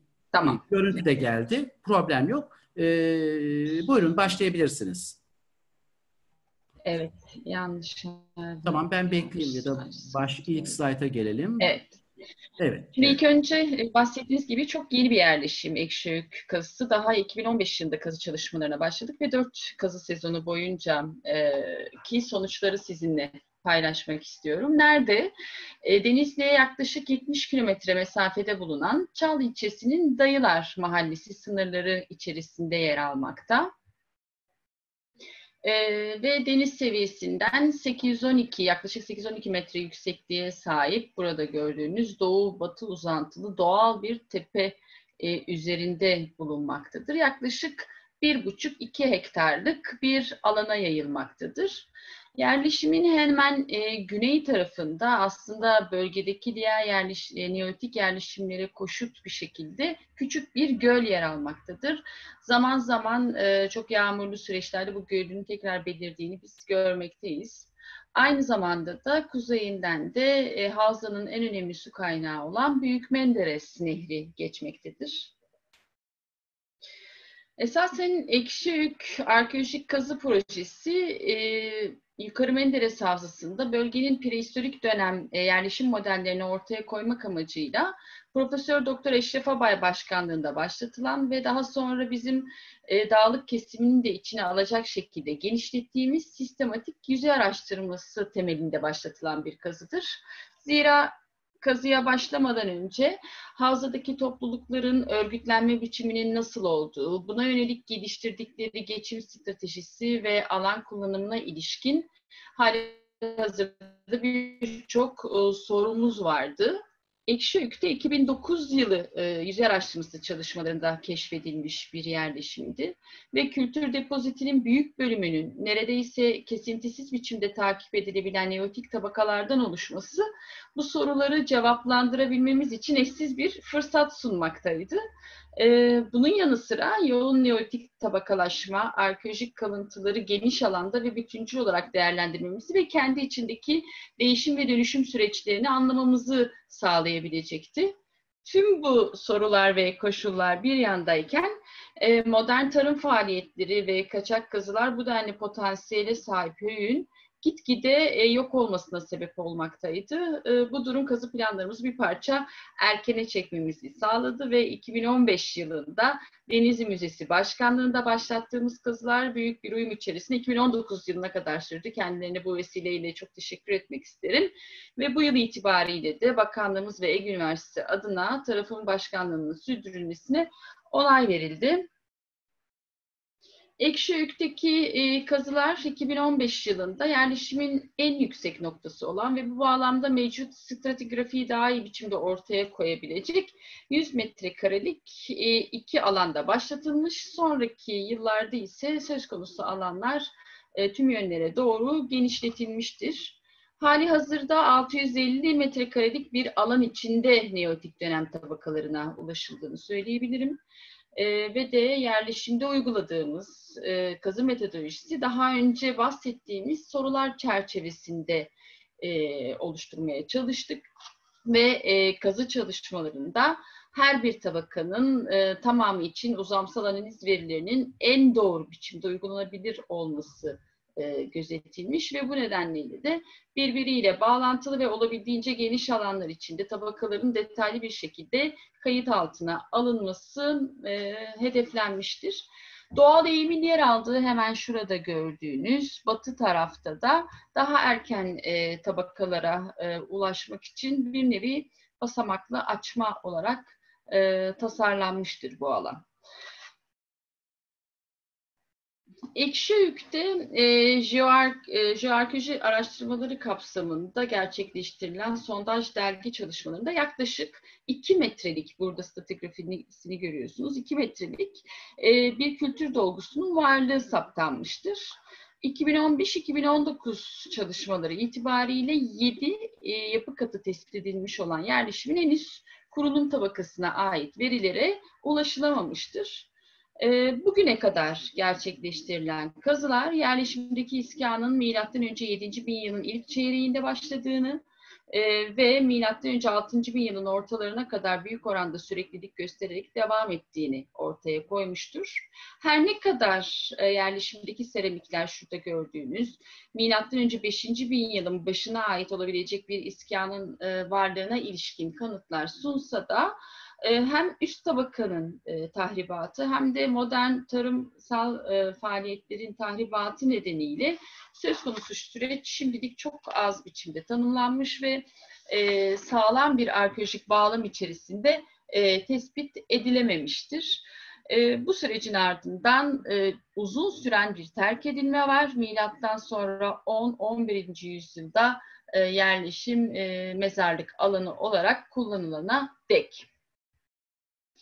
Yerleşimin en geç tabakası az önce bahsettiğim 10-11. yüzyıla e, ait olan mezarlık alanı. Söz konusu mezarlık e, prehistorik yapı katılarının içine açılmış basit toprak gömüler şeklindedir.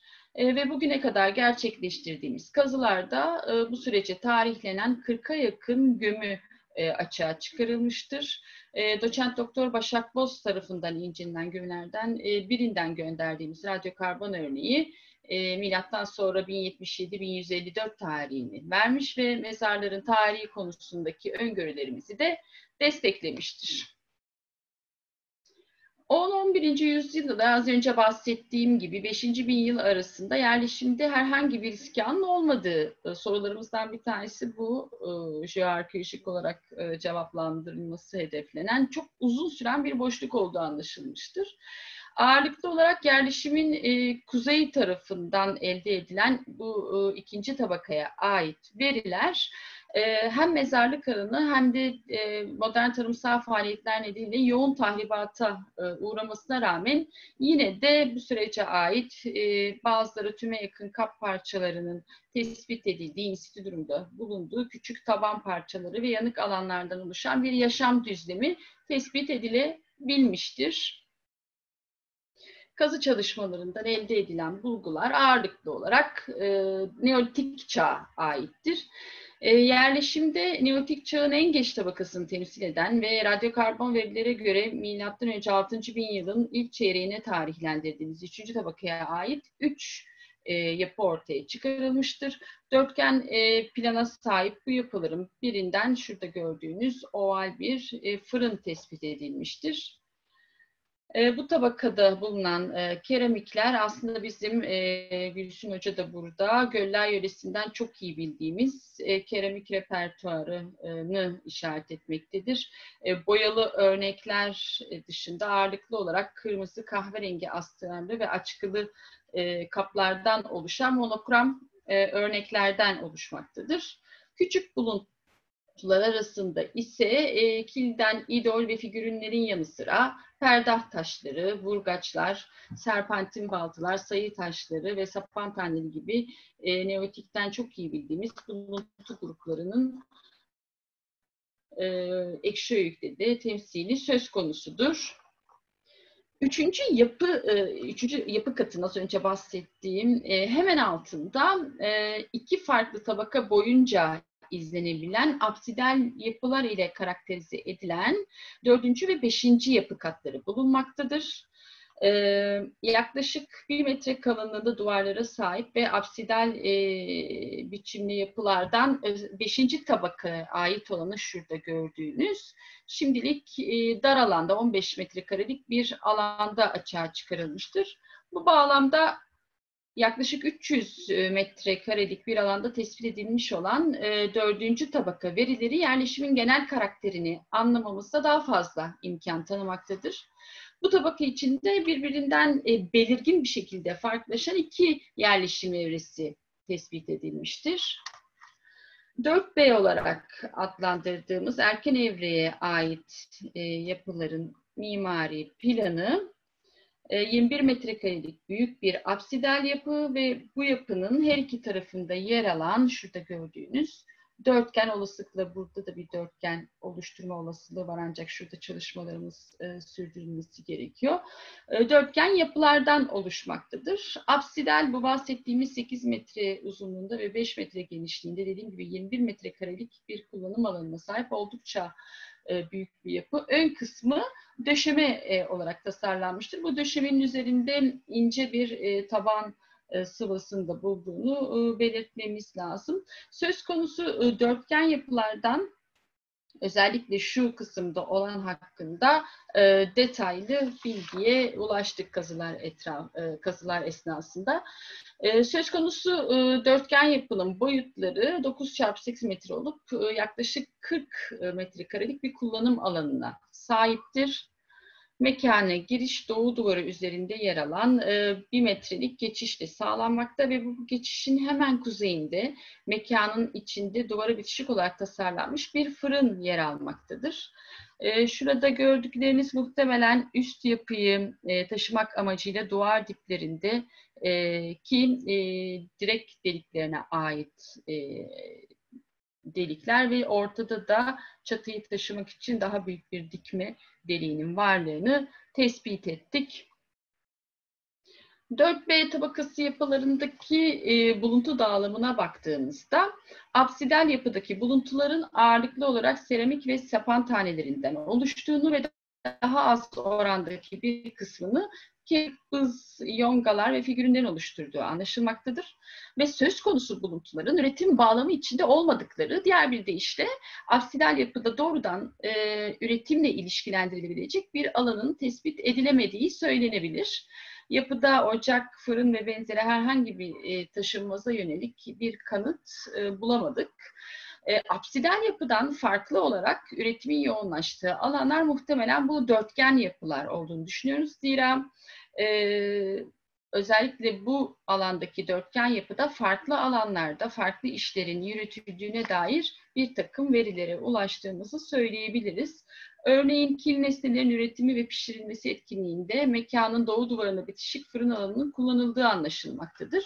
Ve söz konusu alanda büyük çoğunluğunu sapan tanelerin oluşturduğu kil nesneler e, fırının işleminin çoğunlukla en azından e, bir işlevinin de diyebiliriz. Kil nesneleri pişirmeye yönelik olduğuna işaret etmektedir ki işte atık, killer, kil topakları yine fırının etrafında bunu doğrular niteliktedir.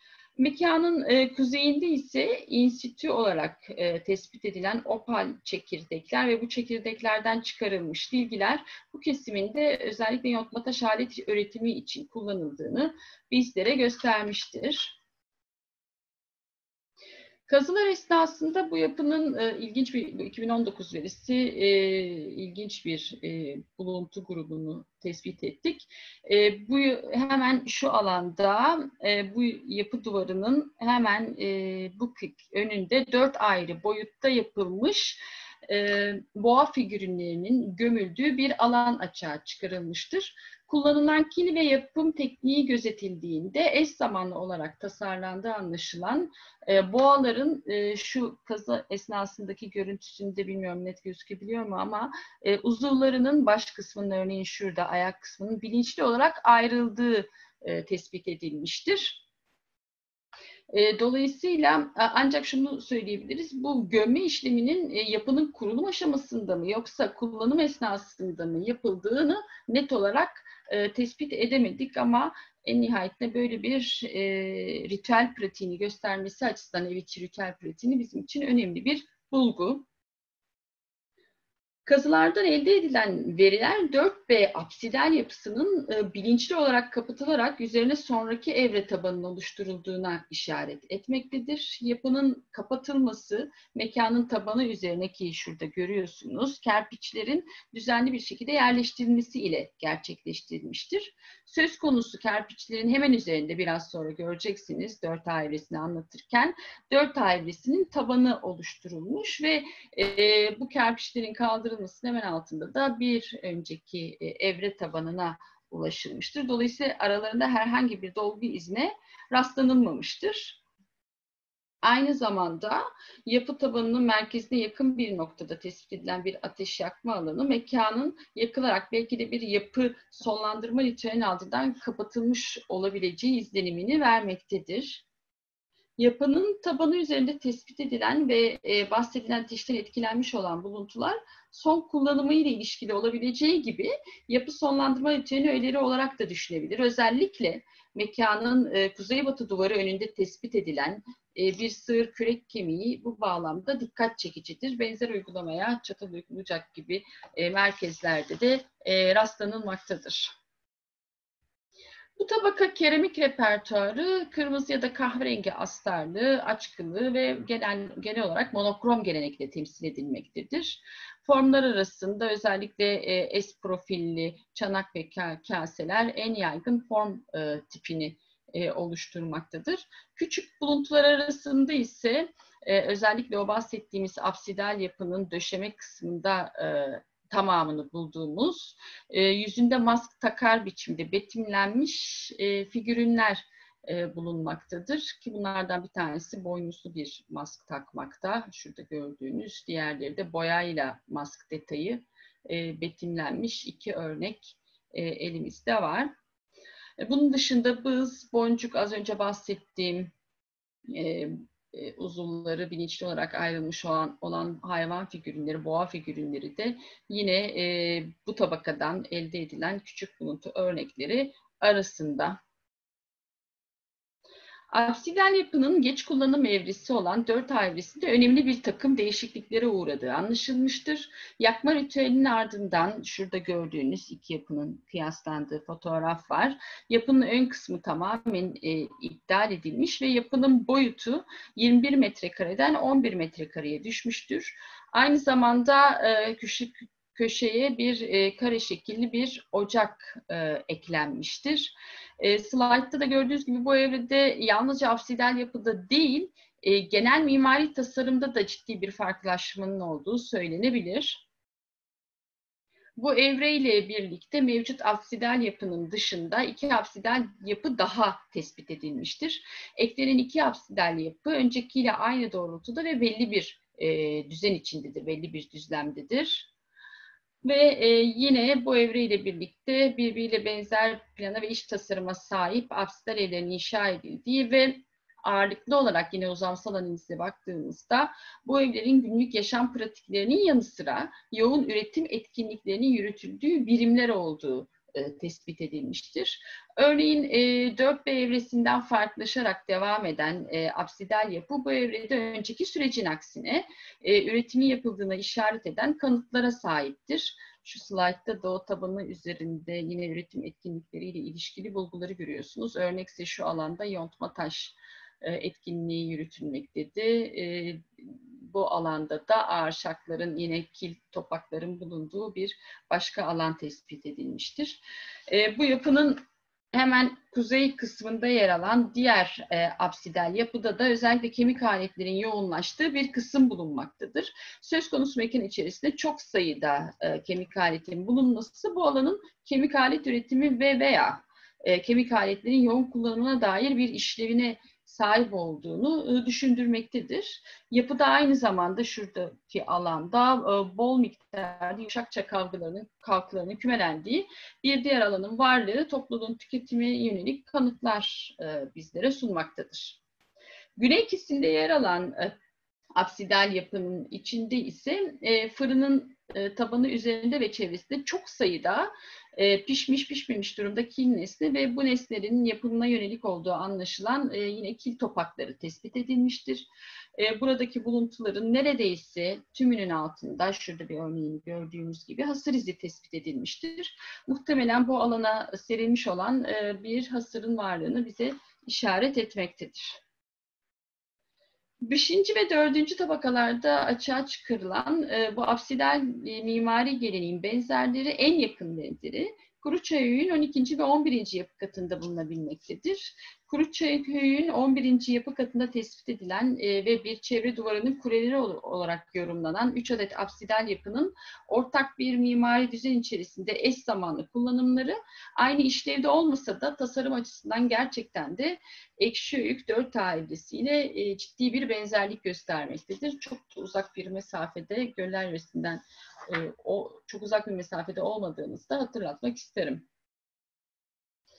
Bu tabaka e, keramik repertuarla ağırlıklı olarak e, bir önceki evre ile e, tamamen e, türdeş özellik göstermektedir.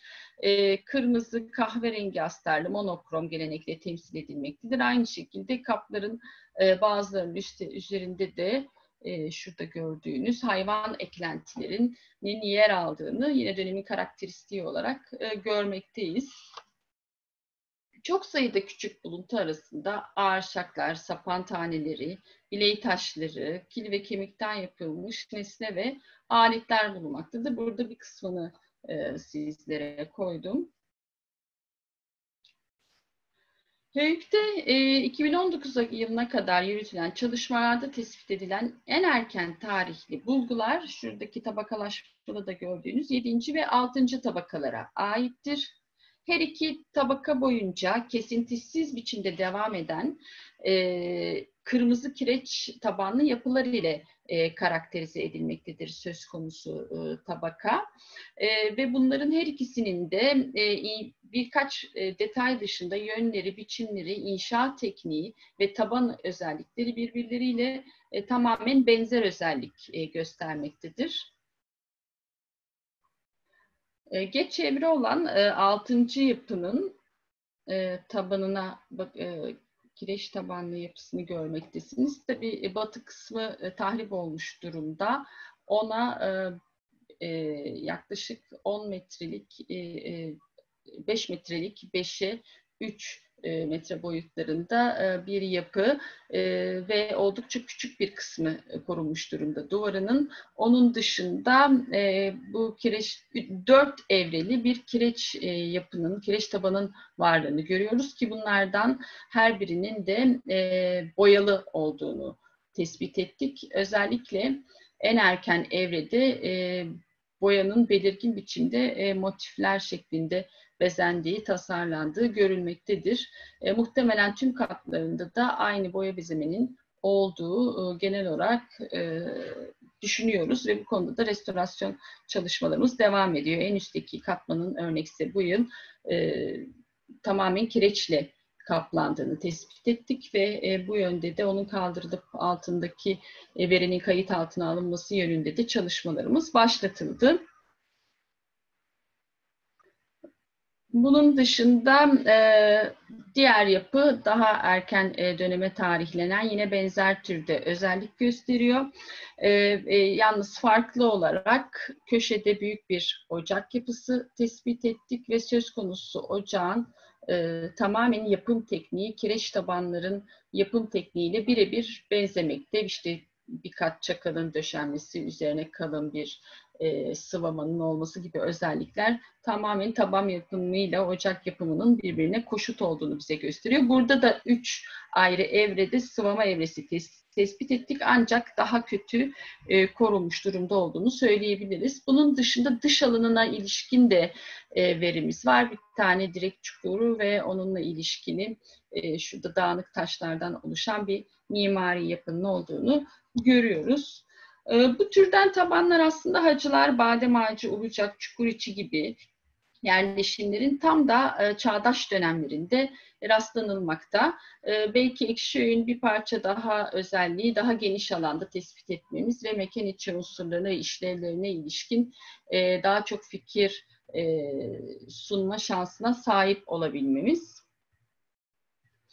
E, diğer çalışmalardan da kısaca bahsetmek istiyorum. E, Zooarkeolojik çalışmalar doçent doktor Gülçin İlgezi Bertram tarafından gerçekleştirilmektedir. İncelemeler devam etmektedir. Şimdilik dördüncü ve üçüncü tabaka e, verilerin konusunda bize veriler sundu ve Buna göre hayvan kemikleri içindeki büyük yoğunluğu koyun ve keçilerin oluşturduğu ve az sayıda sığır ve domuz kemiklerine rastlanıldığını belirtiyor kendisi ve yapılan incelemelerde genç hayvanların oranının oldukça fazla olduğu ortaya çıkmış ve bu bağlamda koyun ve keçilerin yoğun olarak etleri için tüketildiği izlenimi e, ne doğurduğu belirtilmiştir. Yontma taş buluntular Doktor Bogdan Milic tarafından çalışılmaktadır ve e, kendisinin makroskopik incelemeleri sonucunda obsidyenlerin Göllü Dağ, Melos ve Nenenzi Dağ kaynaklı olduğu, çört, kalsiyodan, opal, radyolit, jasper ve kuvarsın da e, yontma taş endüstrisinde yer aldığı e, belirtilmiştir.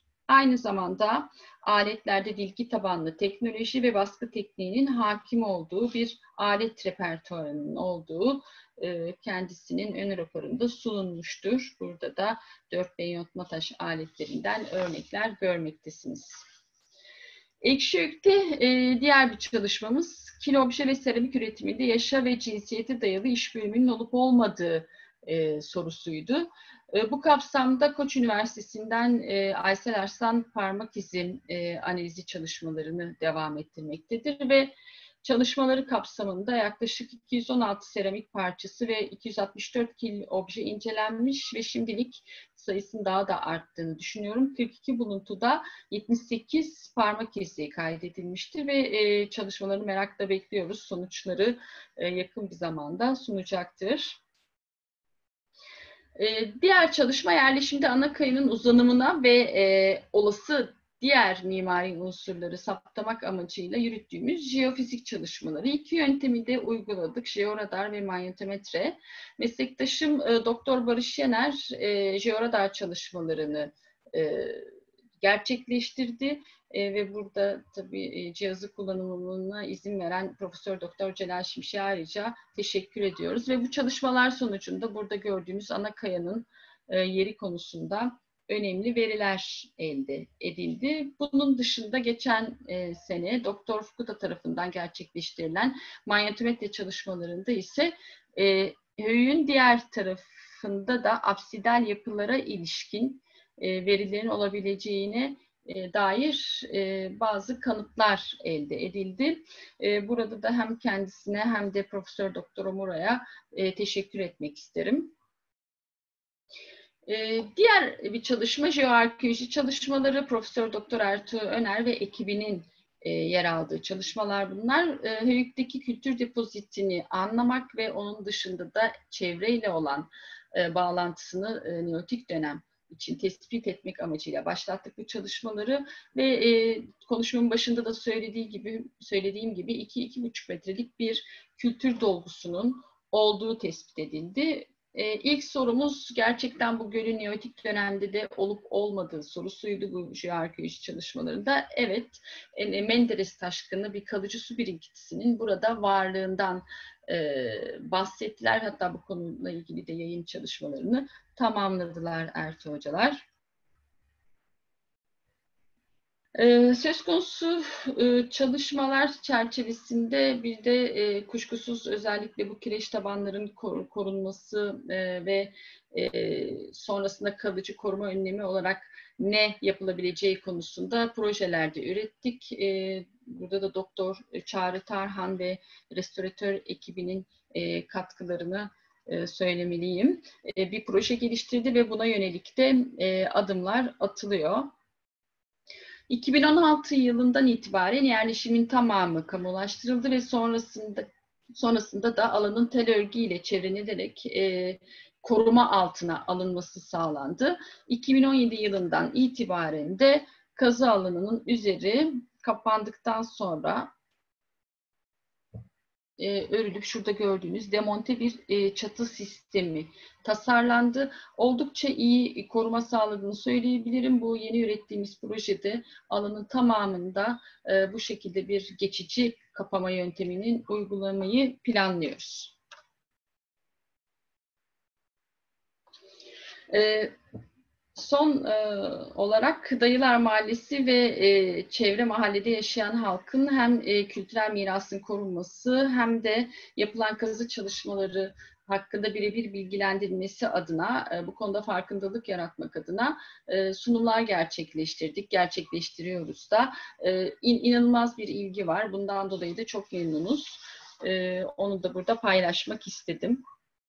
Genel olarak değerlendirdiğimizde e, henüz 4 yıldır kazıyoruz. Bu yıl 5.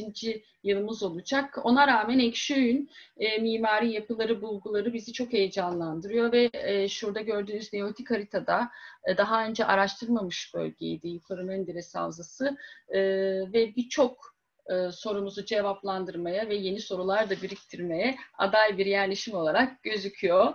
Konuşmamı kazı çalışmalarında emeği geçen tüm ekip üyelerine, Dayılar Köyü halkına ve işçilerimize ve e, yukarıda e, amblemlerini koyduğum kurum ve kuruluşlara ve sabrınız için de size teşekkür ederek e, sonlandırmak istiyorum.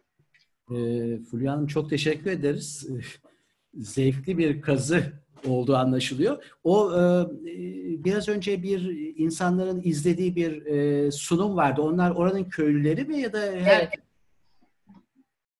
Oranın ve yakın e, mahallenin e, köylüleri e, evet. ve e, özellikle oradaki pazar yerini kullandık doğal ortamı. Hani e, biraz da o konferans salonu izlenimi olsun istemedik. Yani e, kendi ortamlarında sunum yaptık. E, ve sonrasında çocuklar ve e, kadınların katılımı zaten çok yoğundu.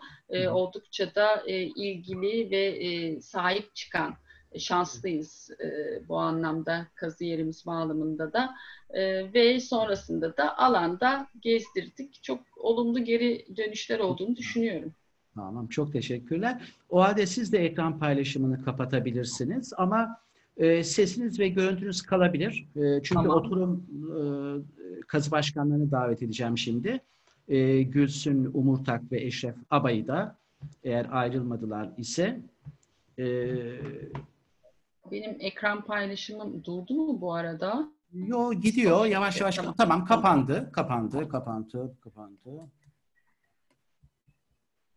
Ee, evet, tamam. Çok teşekkür ederim. Şimdi e, tabii bu e, etkinliği e, hem arkeologlar, sanat tarihçileri ya da meslekten olan kişiler hem de meslek dışından insanlar izliyorlar. E, ve çok kişiye ulaştığımız için de e, sorular geliyor.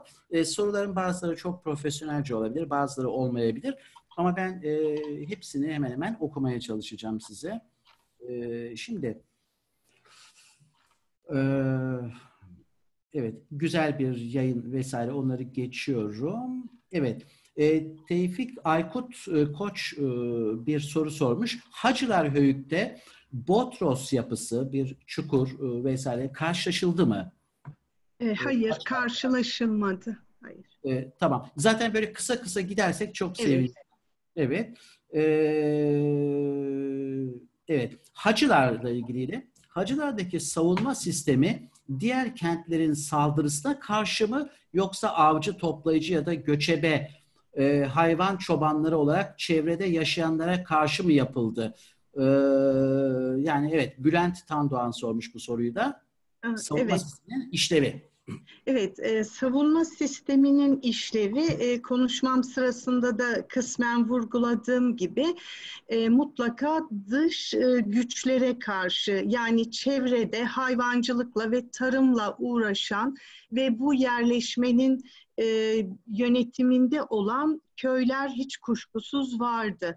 Onlara karşı bir savunma sistemi e, böylesine emekle tonlarca taş taşıyarak e, metrelerce e, sur inşa ederek yapıldığını tabii asla düşünmüyoruz. Ama düşman kimdi?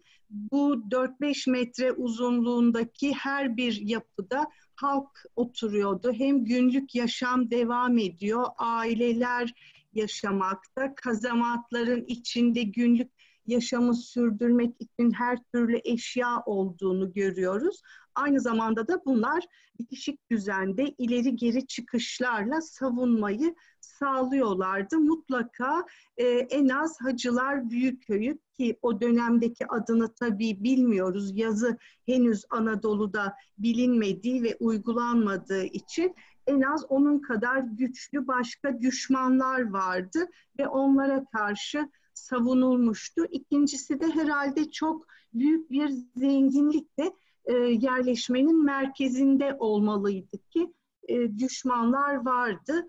E, Hacılar Büyükköyük kenti e, Anadolu'daki ana yollar, büyük ticaret odakları üzerinde değil. Ancak e, yine de demek ki büyük bir zenginlik birlikteydi ki e, bir tehdide karşı yapmışlardı. Evet, teşekkür ederim. Ee, Zeynep Aktoğ e, çok keyifle izlediğini belirtiyor. Ee, Bülent Tandoğan'dan bir soru daha. Beyce Sultan'da veya Ekşihöyük'te yani oraları Menderes Vadisi vesaire bu Menderes motifiyle ilgili bir soru var. Hiç e, keramiklerde ya da başka yapılarda mimari böyle bir Menderes e, motifi gibi bir şeyle karşılaştınız mı? Yani bunu kullananlar. E, tabii e, Eşref Bey yani bu tabii var mı yok mu böyle bir şey? Özel bir meander motifi. Evet. Yok öyle yani karşılaşmadım. Karşılaşmadınız. E, Fulya Hanım da öyle yok. söyledi. E, Gülsün Hoca'ya evet, Gülsün Hoca'ya bir soru. Hacılar Höyü'ndeki koruma e, sur yapısı eğrisinin çapı nedir? E, bu, ee, evet. bu surun dışında da yerleşim izleri var mı? Evet, surların dışında e, tarlalar uzanmakta. Kuzeyde ise bir e, dere var. Yani yağışlı mevsimlerde aktif hale gelen bir dere var. E, henüz surları ve surların içini tam anlamıyla 9 yılda e, kazmadığımız için dışında yerleşimlerin ne ölçüde olduğunu da e, tabii söyleyemeyeceğim. E, ancak e, çapı hakkında bir fikrimiz var. Şimdiye kadar 350 metrelik bir suru batıdan güneye ve kuzeye doğru hafifçe dönerken e, kazdık ve bu bize oval dairesele yakın bir yerleşme olduğunu gösteriyor. Yani e, bunu kapattığımız zaman e, yerleşmenin e, çok daha büyük boyutlu olduğunu ve höyün tümünü kapsadığını, genişliğinin 200 metre e, civarında olduğunu söyleyebilirim ama kesin bir çap söylemem çünkü toprağın altı her zaman sürprizlerle doludur. Öngörülerimiz gerçekleşmeyebilir. Her höyük kapalı bir hediye kutusudur diye cevap vermek istiyorum. Tamam. E, bu bir e, Ozan Aygün'den bir soru ama genel bir soru. Göbekli Tepe e, arkeolojide bir değişikliğe yol açtı mı diye bir soru ama şu an sizler tabii o konuyu anlatmadığınız için e, o konuyu buradan es geçelim. Çünkü Göbekli Tepe'de farklı bir e, yer. E, onu e, uzmanları başka kimler orada çalışıyorsa onlar cevaplandırabilirler. Kuşkusuz Göbekli Tepe çok önemli bir e, merkez. E, ama söylemek istediğiniz bir şey varsa söyleyebilirsiniz tabii ki. Ee, Bülent Bey'den bir soru. Hacılarda bulunan mühürler ticaretle ilgili miydi? Ee, hayır, e, yani hacılardaki mühürler diğer daha önce çalıştığımız e, mesela badem ağacındaki gibi ve günümüze günümüzdeki gibi mülkiyet ifade ediyordu. E, ve onlar en güzel, en seçkin, dekoratif örnekler seçkinlere aitti mutlaka. Ve biz e, mühürler dışında tabii çok özet bilgi verdiğim için detaylara girmedim. Bulla'da bulduk. Yani üzeri mühürlenmiş kil topaklar, mühürlenmesi mümkün olmayan malzemeleri güvence altına alabilmek için kullanılan kil topaklar. Yani günümüzdeki kırmızı mum, hani mühürlü mumlar vardı ya da metal e, garantileri vardı su damacanalarının yakın yıllara kadar. Onun gibi işlevleri vardı ve tabii bullalar daha çok resmi depolarda kullanılan bir sistem. Ee, ve bir, bir de sayı tabletleri bulduk. Bunlar da resmi sayım işlemlerinin kile e, yansıtılmış sayılarıydı. O nedenle ticaret sonunda kullanılabiliyordu ya da ticari malların üzerine bullalar konduktan sonra mühürleyebiliyorlardı ama mühür bir ticaret malzemesi en azından bizim e, yerleşmemizde e, kullanılmamıştı. Tamam. Fulya Hoca'ya bir soru var. Neolitik apsidal yapı modeli başka neolitik yerleşimlerde de var mı? Cem e, Selef Bediz, Şeref Bediz sormuş. Evet, en yakın e, kuru çayla açıkçası biz benzetiyoruz 12. tabakada. E, hani boyutları biraz farklılaşsa da bence e, Gülsün Hocam ne düşünür bilmiyorum. Belki e, ben açıkçası bir parça o kısma benzettim. O yerleşimler. Haklı olarak benzettiniz. E, 12. tabakadaki tabii savunmayla ilgili değildi. Dolayısıyla ben de sizi izlerken 12. tabakanın 11. E, yumuşak dönüşlü yok bizim yani kuru çayın 12. tabakasındakinin de savunmayla ilgili olmaması nedeniyle sizinkine benzediğini düşünmüştüm. Tabii 11. tabakada savunmaya ait kuleler yani haklı olarak benzettiniz. Evet. Ee, teşekkür ederim. Eşref Bey'e bir soru. Beyce Sultan. Beyce Sultan yerleşiminde in situ olarak e, ele geçen insan kalıntıları aracılığıyla yerleşimde yaşayan insanların statü, faaliyet ve iş, kimlikleriyle ilgili ne tür verilere ulaşılmıştır? Var mı böyle bir veri? Şimdi yani bizim 5B tabakası olarak adlandırdığımız tabakadaki o büyük yangında ölmüş insanlar tabii elitler olması gerekiyor. Çünkü yukarı şehirde ve çok zengin donanımlı evlerde oturduklarını biliyoruz. Ve bunların da yani daha önce de bahsettim özellikle o dönemlerde e, at e, arabasının bulunması, at bes, besiciliği, onun dışında işte e, çok e, çevre bölgelerle olan ilişkileri bu kişilerin elitler e, elitleri oluşturduğu anlaşılmakta. Ama tabii onun dışında e, yani dış kentte e, yaşayan insanlarla ilgili bir bilgimiz yok. Ama e, bu büyük yangınla e, yangın altında kalmış yani orada ölmüş kişilerin elitler olması gerekiyor. Tamam, teşekkür ederim. E, Furkan Kel'den bir soru ama o da genel bir soru yine. E, Göbekli Tepe, Stonehenge gibi yerleşimlerdeki yuvarlak hatlar e, size bir şey ifade ediyor mu diye bir soru var. E, bilmiyorum sizlerde böyle bir şey var mı ama e, böyle bir soru gelmiş. Doğrudan sizinle ilgili tabii değil. E, evet. Ekşi Höyük, Ekşi Höyük, İbrahim Hızalan. Yapıların bilinçli olarak kapatılıp üzerine yeni yapı kurulmasının nedenleri neler olabilir? E, bu eski dönem için mi söyleniyor acaba? Herhalde öyledir. Yapıların bilinçli olarak kapatılıp üzerine yeni yapı kurulması. Yani höyük sistemindeki yükselişi mi demek Yok yok. E, yapı kapama e, zaten akademik neolitikten de bildiğimiz, neolitik Hı-hı. topluluklardan da bildiğimiz bir uygulama. Hı-hı. Mekanla insanın, toplumun bağlantısı e, sembolik ve ideolojik olarak bir bağlantısı olduğunu bu bağlamda düşünülüyor. E, dolayısıyla aslında ilk defa e, ekşi yükte rastlanılan bir durum değil. Ekşi yükteki farklı durum belki mekan yakılarak kapatılma ama e, örnekse Güneydoğu Avrupa'da da buna işaret eden e, örnekler var. E, yani bu bağlamda özellikle Brami'nin bir e, çalışması var. E, aslında işte Batı Anadolu'daki bazı e, yerleşimlerde de bu uygulamanın bazı yanıkların e, bu e, mekan kapama ritüeliyle ilişkili olabileceği konusunda. E, dolayısıyla bu gelenek hali hazırda bildiğimiz bir gelenek. Var demek tamam. Teşekkür ederim. Ee, Eşref Aba'ya bir soru. Beyci Sultan Höyü'nde yangın geçirim, geçirme e, gerçek olmuş. Bu e, yangında insanların dışarı çıkamayışının sebebi neden?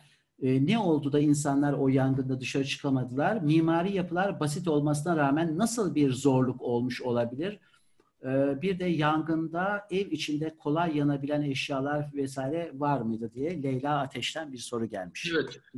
Zaten bizim bir saldırı sonucu olduğunu düşünmemize sebebi içeride kalan e, dışarıda da bir tehlike olduğundan dışarı çıkamama, çıkamadıkları anlaşılmakta. Bir deprem değil yani deprem olsa birden bir deprem sonucunda benzer bir durum söz konusu olabilir. Fakat daha çok özellikle baktığımız zaman e, evleri içinde böyle ambarlara e, gizlenme ya da e, aile fertlerinin e, daha çok çocuk ve kadınların e, bir araya gelip bir köşede saklanmaya çalışmaları falan olasılıkla bir istila sonucunda şehrin istila edilip e, daha sonra da ateşe verilmesi şeklinde olduğunu düşünüyoruz. Çünkü dışarı çık çıkamamalarının sebebi yani e, fiziksel e, sebepler değil yani ev dedikleri gibi dışarı çıkabilme imkanları çok var tabii.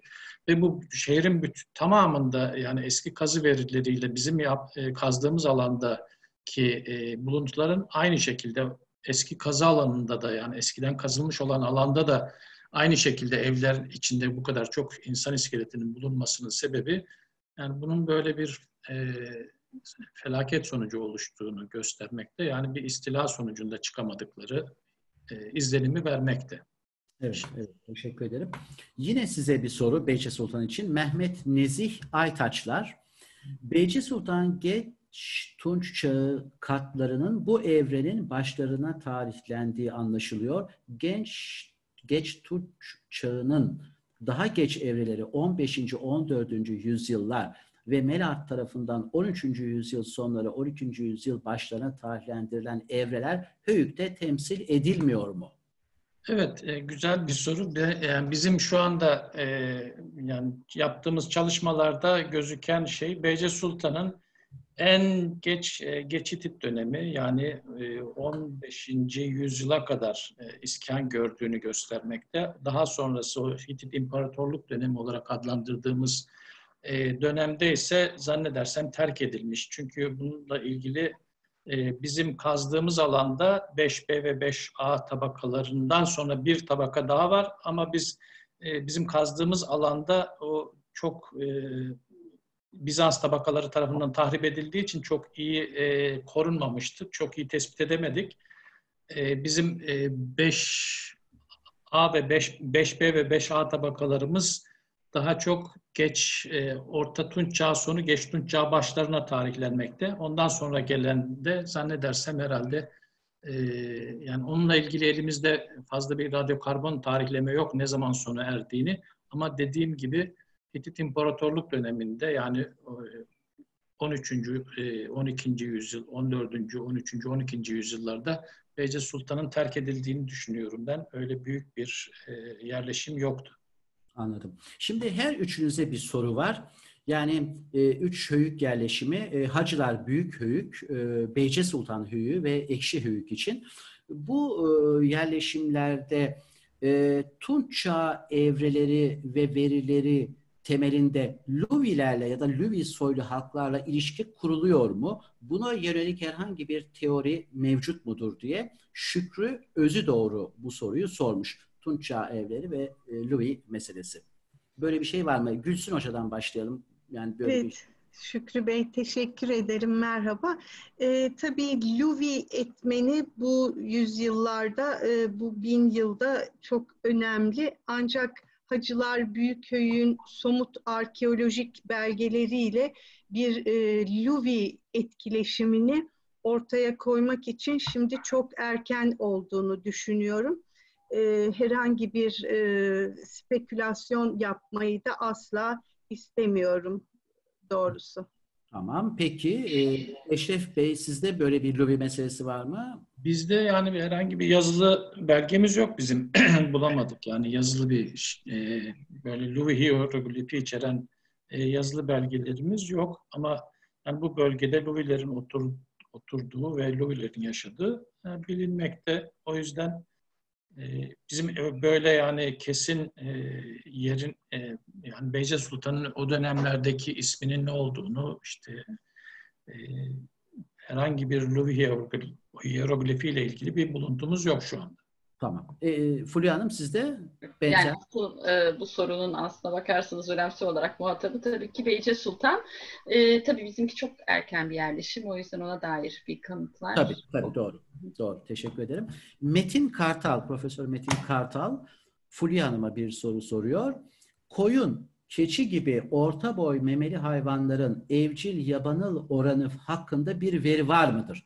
Ayrıca yabani ya da yabanıl türler ile karşılaştırıldıysa avcılık hakkında neler söyleyebiliriz?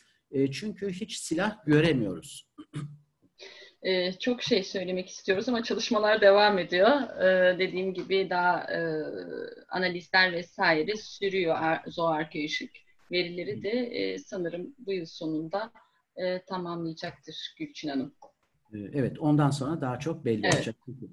E, Ozan e, Şahin, Fulya Hoca'ya yine bir soru. Ekşi Höyük, eldeki veriler ışığında kültürel ve mimari olarak Göller bölgesine mi yoksa Batı Anadolu'ya mı daha yakın? Göller yöresi. Yani bunu biz aslında yüzey araştırması verilerinden de söylemiştik. E, Göller yöresiyle kesinlikle koşut giden bir çizgi var. E, tabii ki da neolitik, erken neolitik süreçte daha bir türdeşlik var biliyorsunuz bölgeler arasında ama sonrasında göller yöresi kültürünün e, bir parçası durumuna geldiğini rahatlıkla söyleyebiliriz.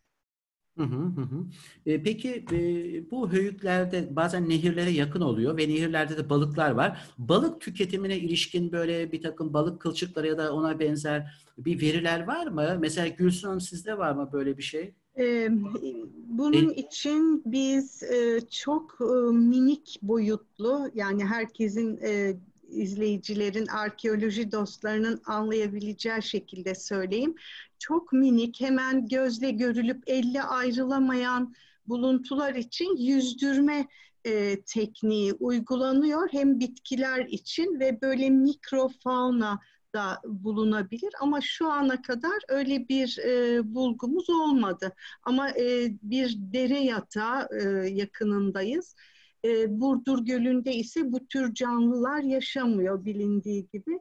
E, belki önümüzdeki yıllarda öyle bir bulguya ulaşabiliriz. Şu anda yok. Ece Sultan'da böyle balık ve balık ürün yani muhakkak vardır ama bizim de bu e, topladığımız şeyler henüz daha çalışılıyor. Yani çalışanlar da bu uzmanlar e, bazen terk edip gidiyorlar. O yüzden henüz daha sonuçlarını alamadık ama bizim de yüzdürme şeklinde e, hem bitkiler yani bitki ve hem de bu küçük e, balık kılçıkları ile ilgili e, şeylerimiz topladık verileri ama e, dediğim gibi uzman e, henüz bir uzman tamam. çalışmadı bunlar. Şimdi Bülent Tandoğan'ın bir sorusu bu e, Fulya Hanım. Yani yine balık meselesini merak ediyor. Sizde var mı böyle bir şey? Ya şöyle e, dediğim gibi aslına bakarsanız şey var. Kanıtlar kuşkusuz olmalı. Yani Büyük Menderes gibi bir e, yani, ciddi bir hali hazırda e, balık kaynağı olan bir yer var. E, ve ona yönelik tabii ki olta ucunu e, verilerimiz var. Kemikten yapılmış. Ee, onun dışında da e, yüzdürme aynı hocanın bahsettiği gibi arkeobotanik uzmanımız daha e, yeni oluştu Açıkçası Ekşi biraz daha şanslı Beyce Sultan'dan o yüzden neotik dönem olduğu için ilgi daha çok oluyor ve uzman bulma şansı e, daha fazla oluyor. E, yani biz bütün toprakları e, analiz edilmek üzere ayırıyoruz. E, onunla ilgili verilerin de geleceğini umuyoruz. Yüzleme yönetimi sonunda. Peki yine Fulya Hanım size Ekşi Höyük'te jeoradar çalışmalarının sonuçları hakkında oluşan genel düşünce yerleşimin üzerinde oluşan alüvyon tabakanın koruyucu olduğu şeklinde midir? Bunu e, Şenol Şahin sormuş. E, yok. Yani e, doğal tepe üzerine zaten e, yerleşilmiş olan bir yerleşim ve üzerinde herhangi bir alüvyon dolgu yok. E, bu bağlamda biz öyle bir dolgu tespit etmedik. Tam tersi birebir direkt kültür topik depoziti üzerine iniyorsunuz. Tamam. Ee, Gülsün Hanım'a hacılara bir soru. Hacılar Höyük, Büyük Höyük'ü gezmek mümkün mü? Yani turistik e, bir gezi bir açılabilir Evet. Ağustos ayında gelirlerse ben kendilerini gezdireceğim. Tamam. Tamam. Teşekkür ederiz.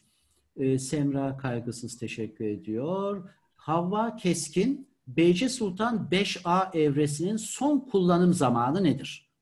Beyce Sultan 5A evresinin son... 5A evresinin bizim yani radyo karbon tarihlememiz daha çok 1595'leri gösteriyor. Yani 1650-1595 gösteriyor ama e, yani o e, en geç radyo karbon tarihe göre 1595 gibi. Hı hı hı hı. 16. yüzyılın ortaları evet. Peki e, genelde üç öğütte de takı yani mücevher, takı, kadın süs aletleri böyle bir şeylerde bir yoğunluğun olduğu sıra dışı bir durum var mıdır hissettiğiniz? E, Bülent e, Büyük Türk sormuş. E, Gülsün Hanım sizden başlayabiliriz. Takılarla ilgili bir şeyler. Çok e, dikkat çekici bir yoğunluk yok. Yani boncuklar e, var, metal bilezik mesela ama özellikle kadınlara özgü takılar diyebileceğimiz bir şey yok. Bulduklarımızı erkekler de takabilirdi. Bilemiyorum.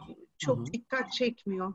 Evet, Beyci Sultan ve... Bizde de öyle yani pek öyle dikkat çekici, yoğunlaşmış bir takı e, yok. E, yok. E, Ekşehir'de... Birkaç bulgu var ama öyle e, çok yoğun değil. Mesela yoğun kalkıdan değil. bir e, yüzük olabilecek ya da kolye ucu olabilecek bir e, buluntumuz var son dönem. E, onun evet. dışında öyle çok ciddi bir takıyla ilişkilendirebileceğiniz buluntu olduğunu söylemek mümkün değil. Beyce Sultan'da at koşumları bulunduğunu söylediniz. Bunların Yunanistan ve Balkanlar ile ilişkili olduğu Hı -hı. E, belirtilmiş herhalde konuşmada. Nereden e, nereye bir geçiş ve bunun nasıl gerçekleştiğini düşünüyorsunuz? Bu at koşumları bize nasıl bir ilişki ağını gösteriyor?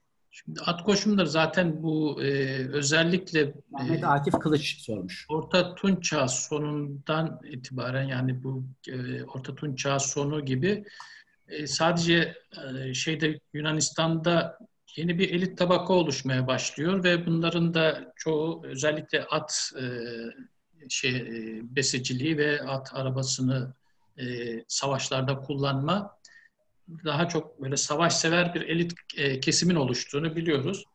Bu sadece oraya özgü değil, aynı zamanda Anadolu'da da böyle olduğunu, daha sonra Hititlerde de zaten at savaş arabalarının çok kullanıldığını biliyoruz ama bu Beyce Sultan'da özellikle bu 5B ve daha çok 5A tabakasında bu at koşum takımlarının bulunması daha olasılıkla savaşlarda bu at arabalarının kullanılmaya başlandığını biliyoruz.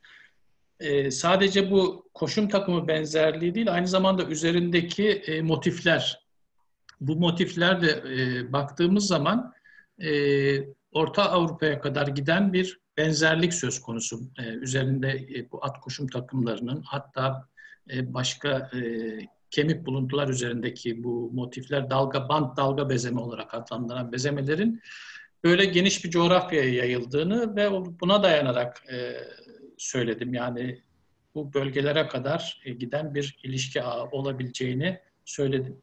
Tamam, teşekkürler. Ee, Muğla'dan e, Adnan Diler. Adnan Diler, o, sanıyorum şu an o da Muğla'dadır. Ee, Gülsün Hanım'a bir soru soruyor. Ee, Büyükhöyük'te dikit e, stelli e, yapının ya da alanın giriş kapısı ve kapı kültüyle kapı kültüyle, giriş kapısı ve kapı kültüyle bir ilgisi olabilir mi?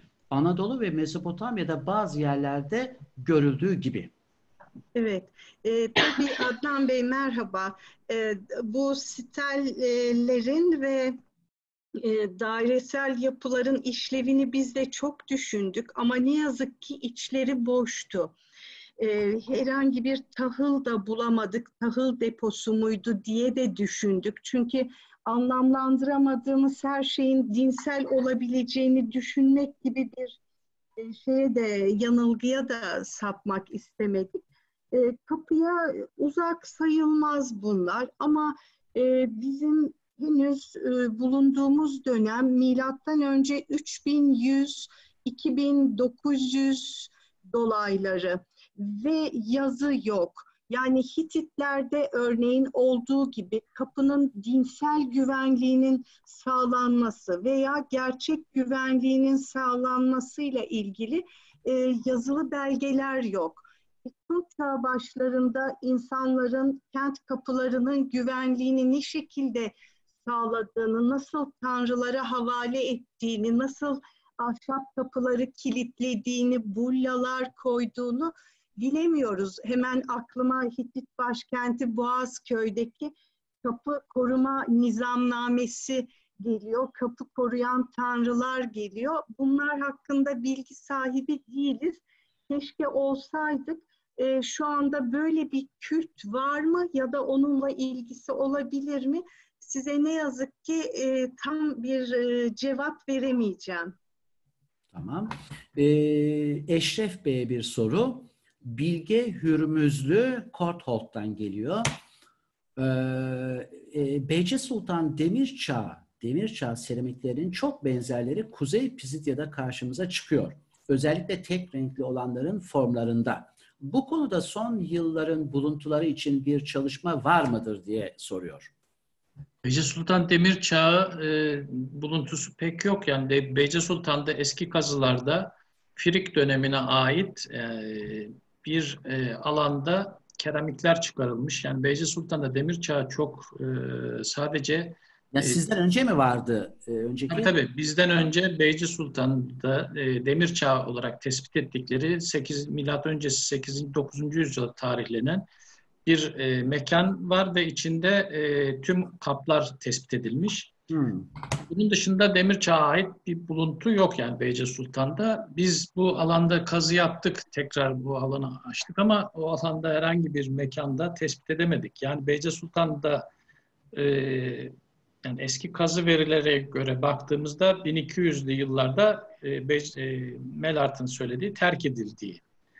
Ama e, bizim e, verilerimize baktığımızda bunun daha erken Beyce Sultan'ın yani 15. E, yüzyılda falan terk edilmiş olması gerektiği.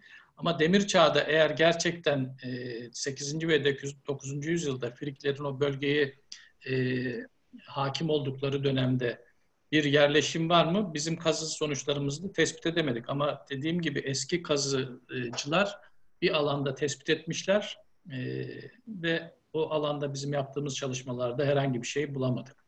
Tamam. Fulya Hoca'ya bir soru. Ekşi Höyük. Apsidal yapıların güneydoğu kısımları tamamen korunmuş mu?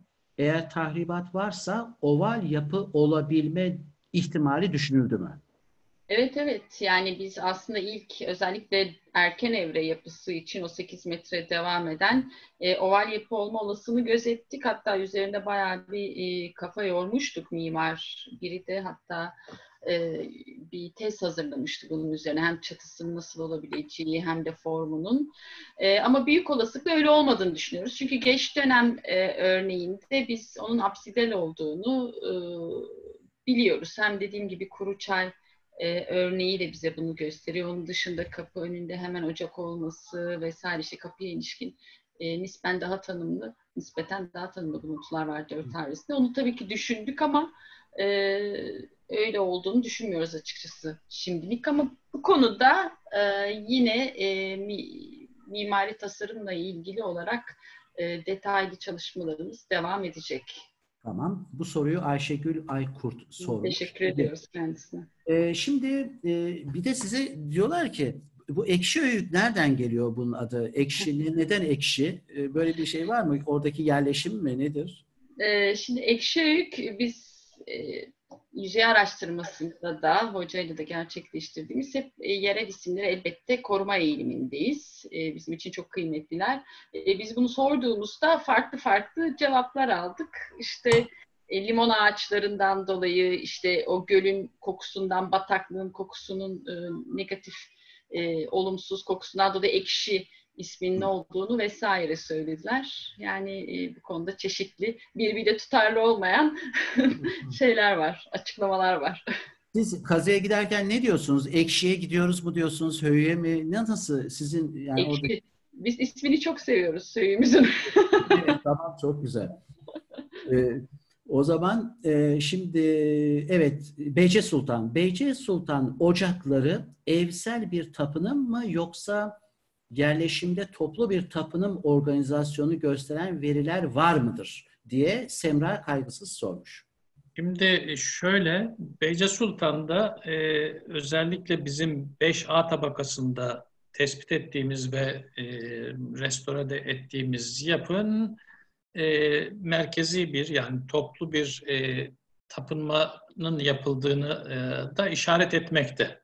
Ama onun altında diğer e, evlerde tespit ettiğimiz e, ocaklar e, olasılıkla ev içinde kutsal olarak görülmekteydi ama aynı zamanda ev içinde üretim faaliyetlerinde de kullanılmaktaydılar. Yani demek istediğim e, bizim 5B tabakasına ait böyle tek başına bir tapınaktır, e, yani kurumsal bir yapıdır diyebileceğimiz bir şey bulamadık. ama fakat e, 5A'daki biraz olsun kurumsal bir e, yapı olduğu gözükmekte. Tamam, teşekkür ederim. Bu bağlamda ocakların da e, ev içinde olan ocakların ev içi kutsal e, olduğunu ama aynı zamanda ev içinde de kullanıldıklarını söyleyebiliriz. Tamam. E, Cemre Bey, Cemre Altın, e, tabii ki bu webinarın kayıtları yayınlanacak daha sonra e, Akmet'te ve YouTube'da da bulabilirsiniz. Yağız e, Aş yapan, Yağız Aş yapan Fulya Hoca'ya bir soru sormuş. Ekşi Heyük'te son çalışmalarda ritüeli işaret eden objeler ve bunun doğrultusunda bir ritüel alanı olarak değerlendirilebilecek bir alan bulunmakta mıdır? Ee, yani ritüeli işaret edebilecek objeler var. Bir kısmından e, bahsettim. E, özellikle o yüzünde maskla betimlenmiş olan e, figürünler bence e, ritüelin e, bir parçasını belki yapılma anındaki sürecini bize ifade ediyor. Yani dolayısıyla ya da ev içi de e, bir kısmından bahsettiğim kült alanı ama bağımsız bir tapınak vesaire gibi bir unsur diyorsanız yok. Yani bu dönem e, ev içi e, tapınım, kült e, ve ritüel pratiklerinin daha e, yaygın biçimde görüldüğünü biliyoruz. Tamam. Ee, bir, bir soru ama kısa olursa yine ekşi öğütle ilgili. Apsidal yapılarda dönemsel e, olarak kullanımın değiştiği gözleniyor. İlk dönemde nasıl bir kullanım, sonraki dönemlerde ne oldu? Bu kullanım geçişini nasıl açıklayabilirsiniz diye bir soru gelmiş. Ya aslında e, ben sunumum içerisinde detaylarını verdiğimi düşünüyorum o e, farklılaşmanın. E, kesinlikle işlevsel bir farklılaşma olduğunu düşünüyoruz. Yani bir de bu veriyi bize e, şey de söylüyor, yüzey araştırması verileri de özellikle e, tam da aşağı yukarı bu sürece denk gelen yani milattan önce 6200 ve sonraki süreçte e, bir e, en azından dağlık alanlarda, yamaçlarda, plato üstü yerleşimlerde bir terk edilmenin olduğunu bize gösteriyordu. Dolayısıyla e, sorularımızdan bir tanesi bu. Bu değişimin neden kaynaklandığı. İklimsel e, 8.2K olayının belki e, böyle bir şeyi tetikleyip tetiklemediği ya da işte ama daha birçok e, polen analizlerine ihtiyacımız var. Onun dışında arkeometrik, zooarkeolojik ve e, kuşkusuz botanik sonuçlara ihtiyacımız var. Ama kesinlikle bir değişime ve dönüşüme işaret ettiğini düşünüyoruz. Tamam. Bir soru Hasan Genç Can'dan ama bunu da cevaplamayacağız herhalde. Çünkü e, nereye sorulduğu belli değil şu aşamada. Klasik antik kent yapı dizgesiyle karşılaştırıldığında ne tür benzerlikler? Bunu geçiyorum çünkü prehistorik dönemdeyiz. Ee, Beyce Sultan Türbesi Höyük civarına neden yapılmış? Orada mı var diye. Beyce Sultan'da evet. E, Bülent Evet. Fethi'ci. Beyce Sultan Türbesi bu e, höyün üzerine yapılmış zaten. Hmm. E, Zaten burada bir e, Selçuklu dönemine ait bir yerleşim olduğu anlaşılmakta. Yani çok büyük olması da bir köy köy e, tarzında 13. yüzyıla milattan sonra 13. yüzyıla tarihlenmekte. Beyci Sultan'da bir Alperen zaten e, yani bu e, Mirya Kefalon Savaşı'ndan sonra Selçukluların e, Yukarı Menderes Havzası'nı, Batı Anadolu'yu yerleşmeye başlamalarından sonra e, buradaki topluluklara, insanlara öncülük yapmış Alperenlerden bir tanesi ve o bölgeye e, yerleşip e, işte şeyler e, Selçuklu e, yerel halkla, toplulukla birlikte o böl- bölgeye yerleşmiş ve ölünce de türbesini oraya e, yapmışlar. Böyle bir alan. İsmi de zaten Beyce Sultan'ın oradan gelmekte. Gelmekte tamam. E, e, Fulya Hanım, Ekşi Höyük'teki absidal yapıların kamusal niteliği var mı? Kamusal nitelikte mi bunlar? Yok, e, Değil. bence değil. Şu aşamada evet. evet. E, bir de bir diğer soru Ekşi Höyük'te en erken tabakalarda seramiğe rastladınız mı? Keramik. Güzel soru. Şöyle söyleyeyim, e, bu konuda biz temkinli açıklamalarda e, bulunuyoruz açıkçası. E, yani dolayısıyla rastlamadık. Şu anda rastlamadık. Fena bir alanda kazmadık. E, şöyle söyleyeyim, yaklaşık herhalde e, bir, yani o evleri düşünecek olursanız 10 onluk bir alanda biz seramik e, parçasına rastlamadık. E, diğer buluntulara rastladığımız zaten ama zaten seramiğin çok azaldığı bir evre söz konusu süreçte e, daha emin konuşmak için yani bir akademik e, burada kısa süreli bir akademik oldu, olup olmadığı meselesini e, herhalde bir iki yıl içerisinde çözeceğiz. Çözeceksiniz. Tamam. Serap Özdör Kutlu sormuş bu soruyu zaten. Teşekkür ederiz. Ee, Selamlar. Cem Kunç. Başladı ya bu. Ekşi Höyük'te parmak uçları, e, parmak uçları e, analizi Aha, parmak ne, izlenmesi. ne tür bilgiler veriyor? Cinsiyet, e, onların rolleri vesaire yoksa daha devam ediyor mu çalışmalar? Ya çalışmalar devam ediyor ama madem soruldu küçük bir Cem de izniyle evet e, şey yapayım, ipucu vereyim. Mesela çocukların ve kadınların kil alet üretiminde aktif olduklarını en azından ön sonuçlar söyledi. E, ama dediğim gibi zaten kendisi doktora kapsamında da çalışıyor. Onunla ilgili detaylı bilgilere ulaşacağız ama mesela çocuk ve kadınların kil alet, seramik ve kil nesnelerinin üretiminde e, aktif olduğu gözleniyor ekşi verilerine göre.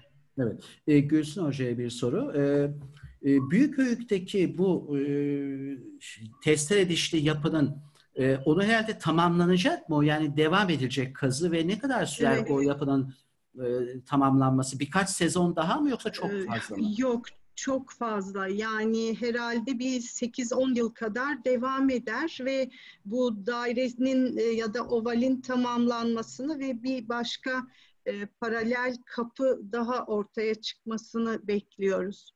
Çünkü Hmm. şu anda 45 kazamat ve 350 metrelik bir sur kazıldı. 9 yılımızı aldı.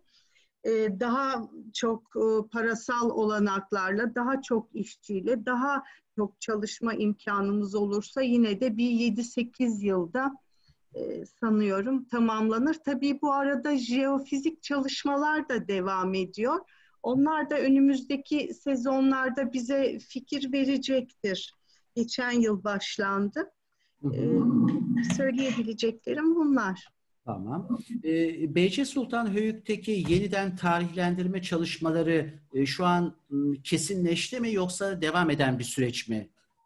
Beyce Yani Sultan. şu, yani şu anda e, bizim e, tarihleme çalışmalarımız yani kesin bununla ilgili de yayın da yaptık zaten bizim arkeoloji dergisinde Ege Üniversitesi'nin orada yaptık ama tekrar bir kapsamlı bir e, yayın tekrar düşünüyoruz yani bu tarihlemeyi de içine alan e, bütün argümanlarıyla birlikte böyle bir şey düşünüyoruz ama dediğim gibi e, şu anda bizim yapmış olduğumuz çalışmalar sonucunda yani kesin gözüküyor.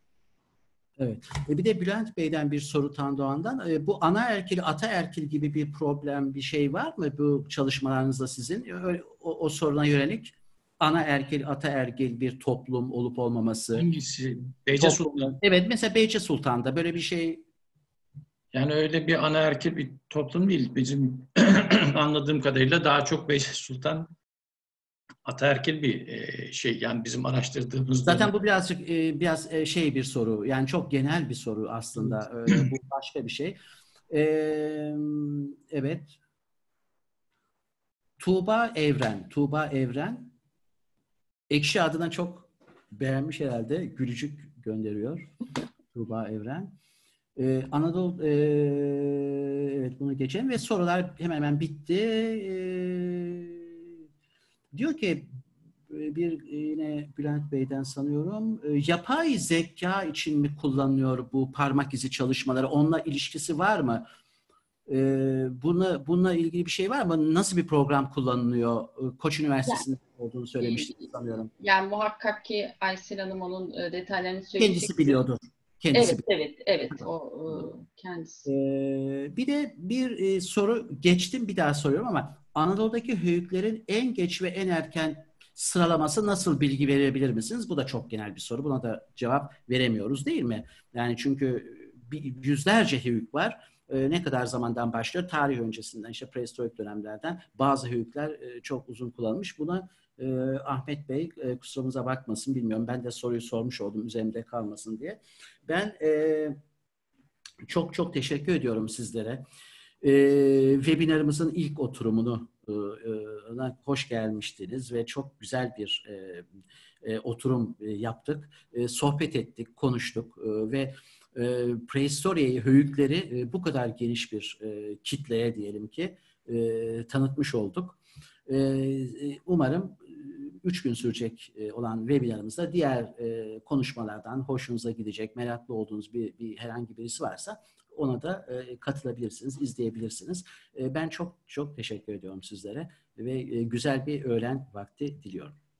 Teşekkür ederiz. Sizler teşekkür ederiz. Evet. Değerli dinleyiciler, sizlere de çok teşekkür ediyorum. Sorularımız hemen hemen tamamlandı. Dolayısıyla bugün üç günlük webinarımızın birinci günündeyiz ve ilk oturumunu tamamlamış olduk. Öğleden sonra ise yine Göller Yöresi'nden önemli kazılara ait bir takım sunumlar izleyeceğiz. Bunlardan bir tanesi Sagalassos, bir diğeri Psitiantioiası ve Selevkeia Sidera. Tekrar saat 14'te görüşmek üzere. Hepinize güzel bir öğlen vakti, güzel bir öğle yemeği yiyecek olanlar varsa dilemek istiyorum. Şimdilik hoşçakalın.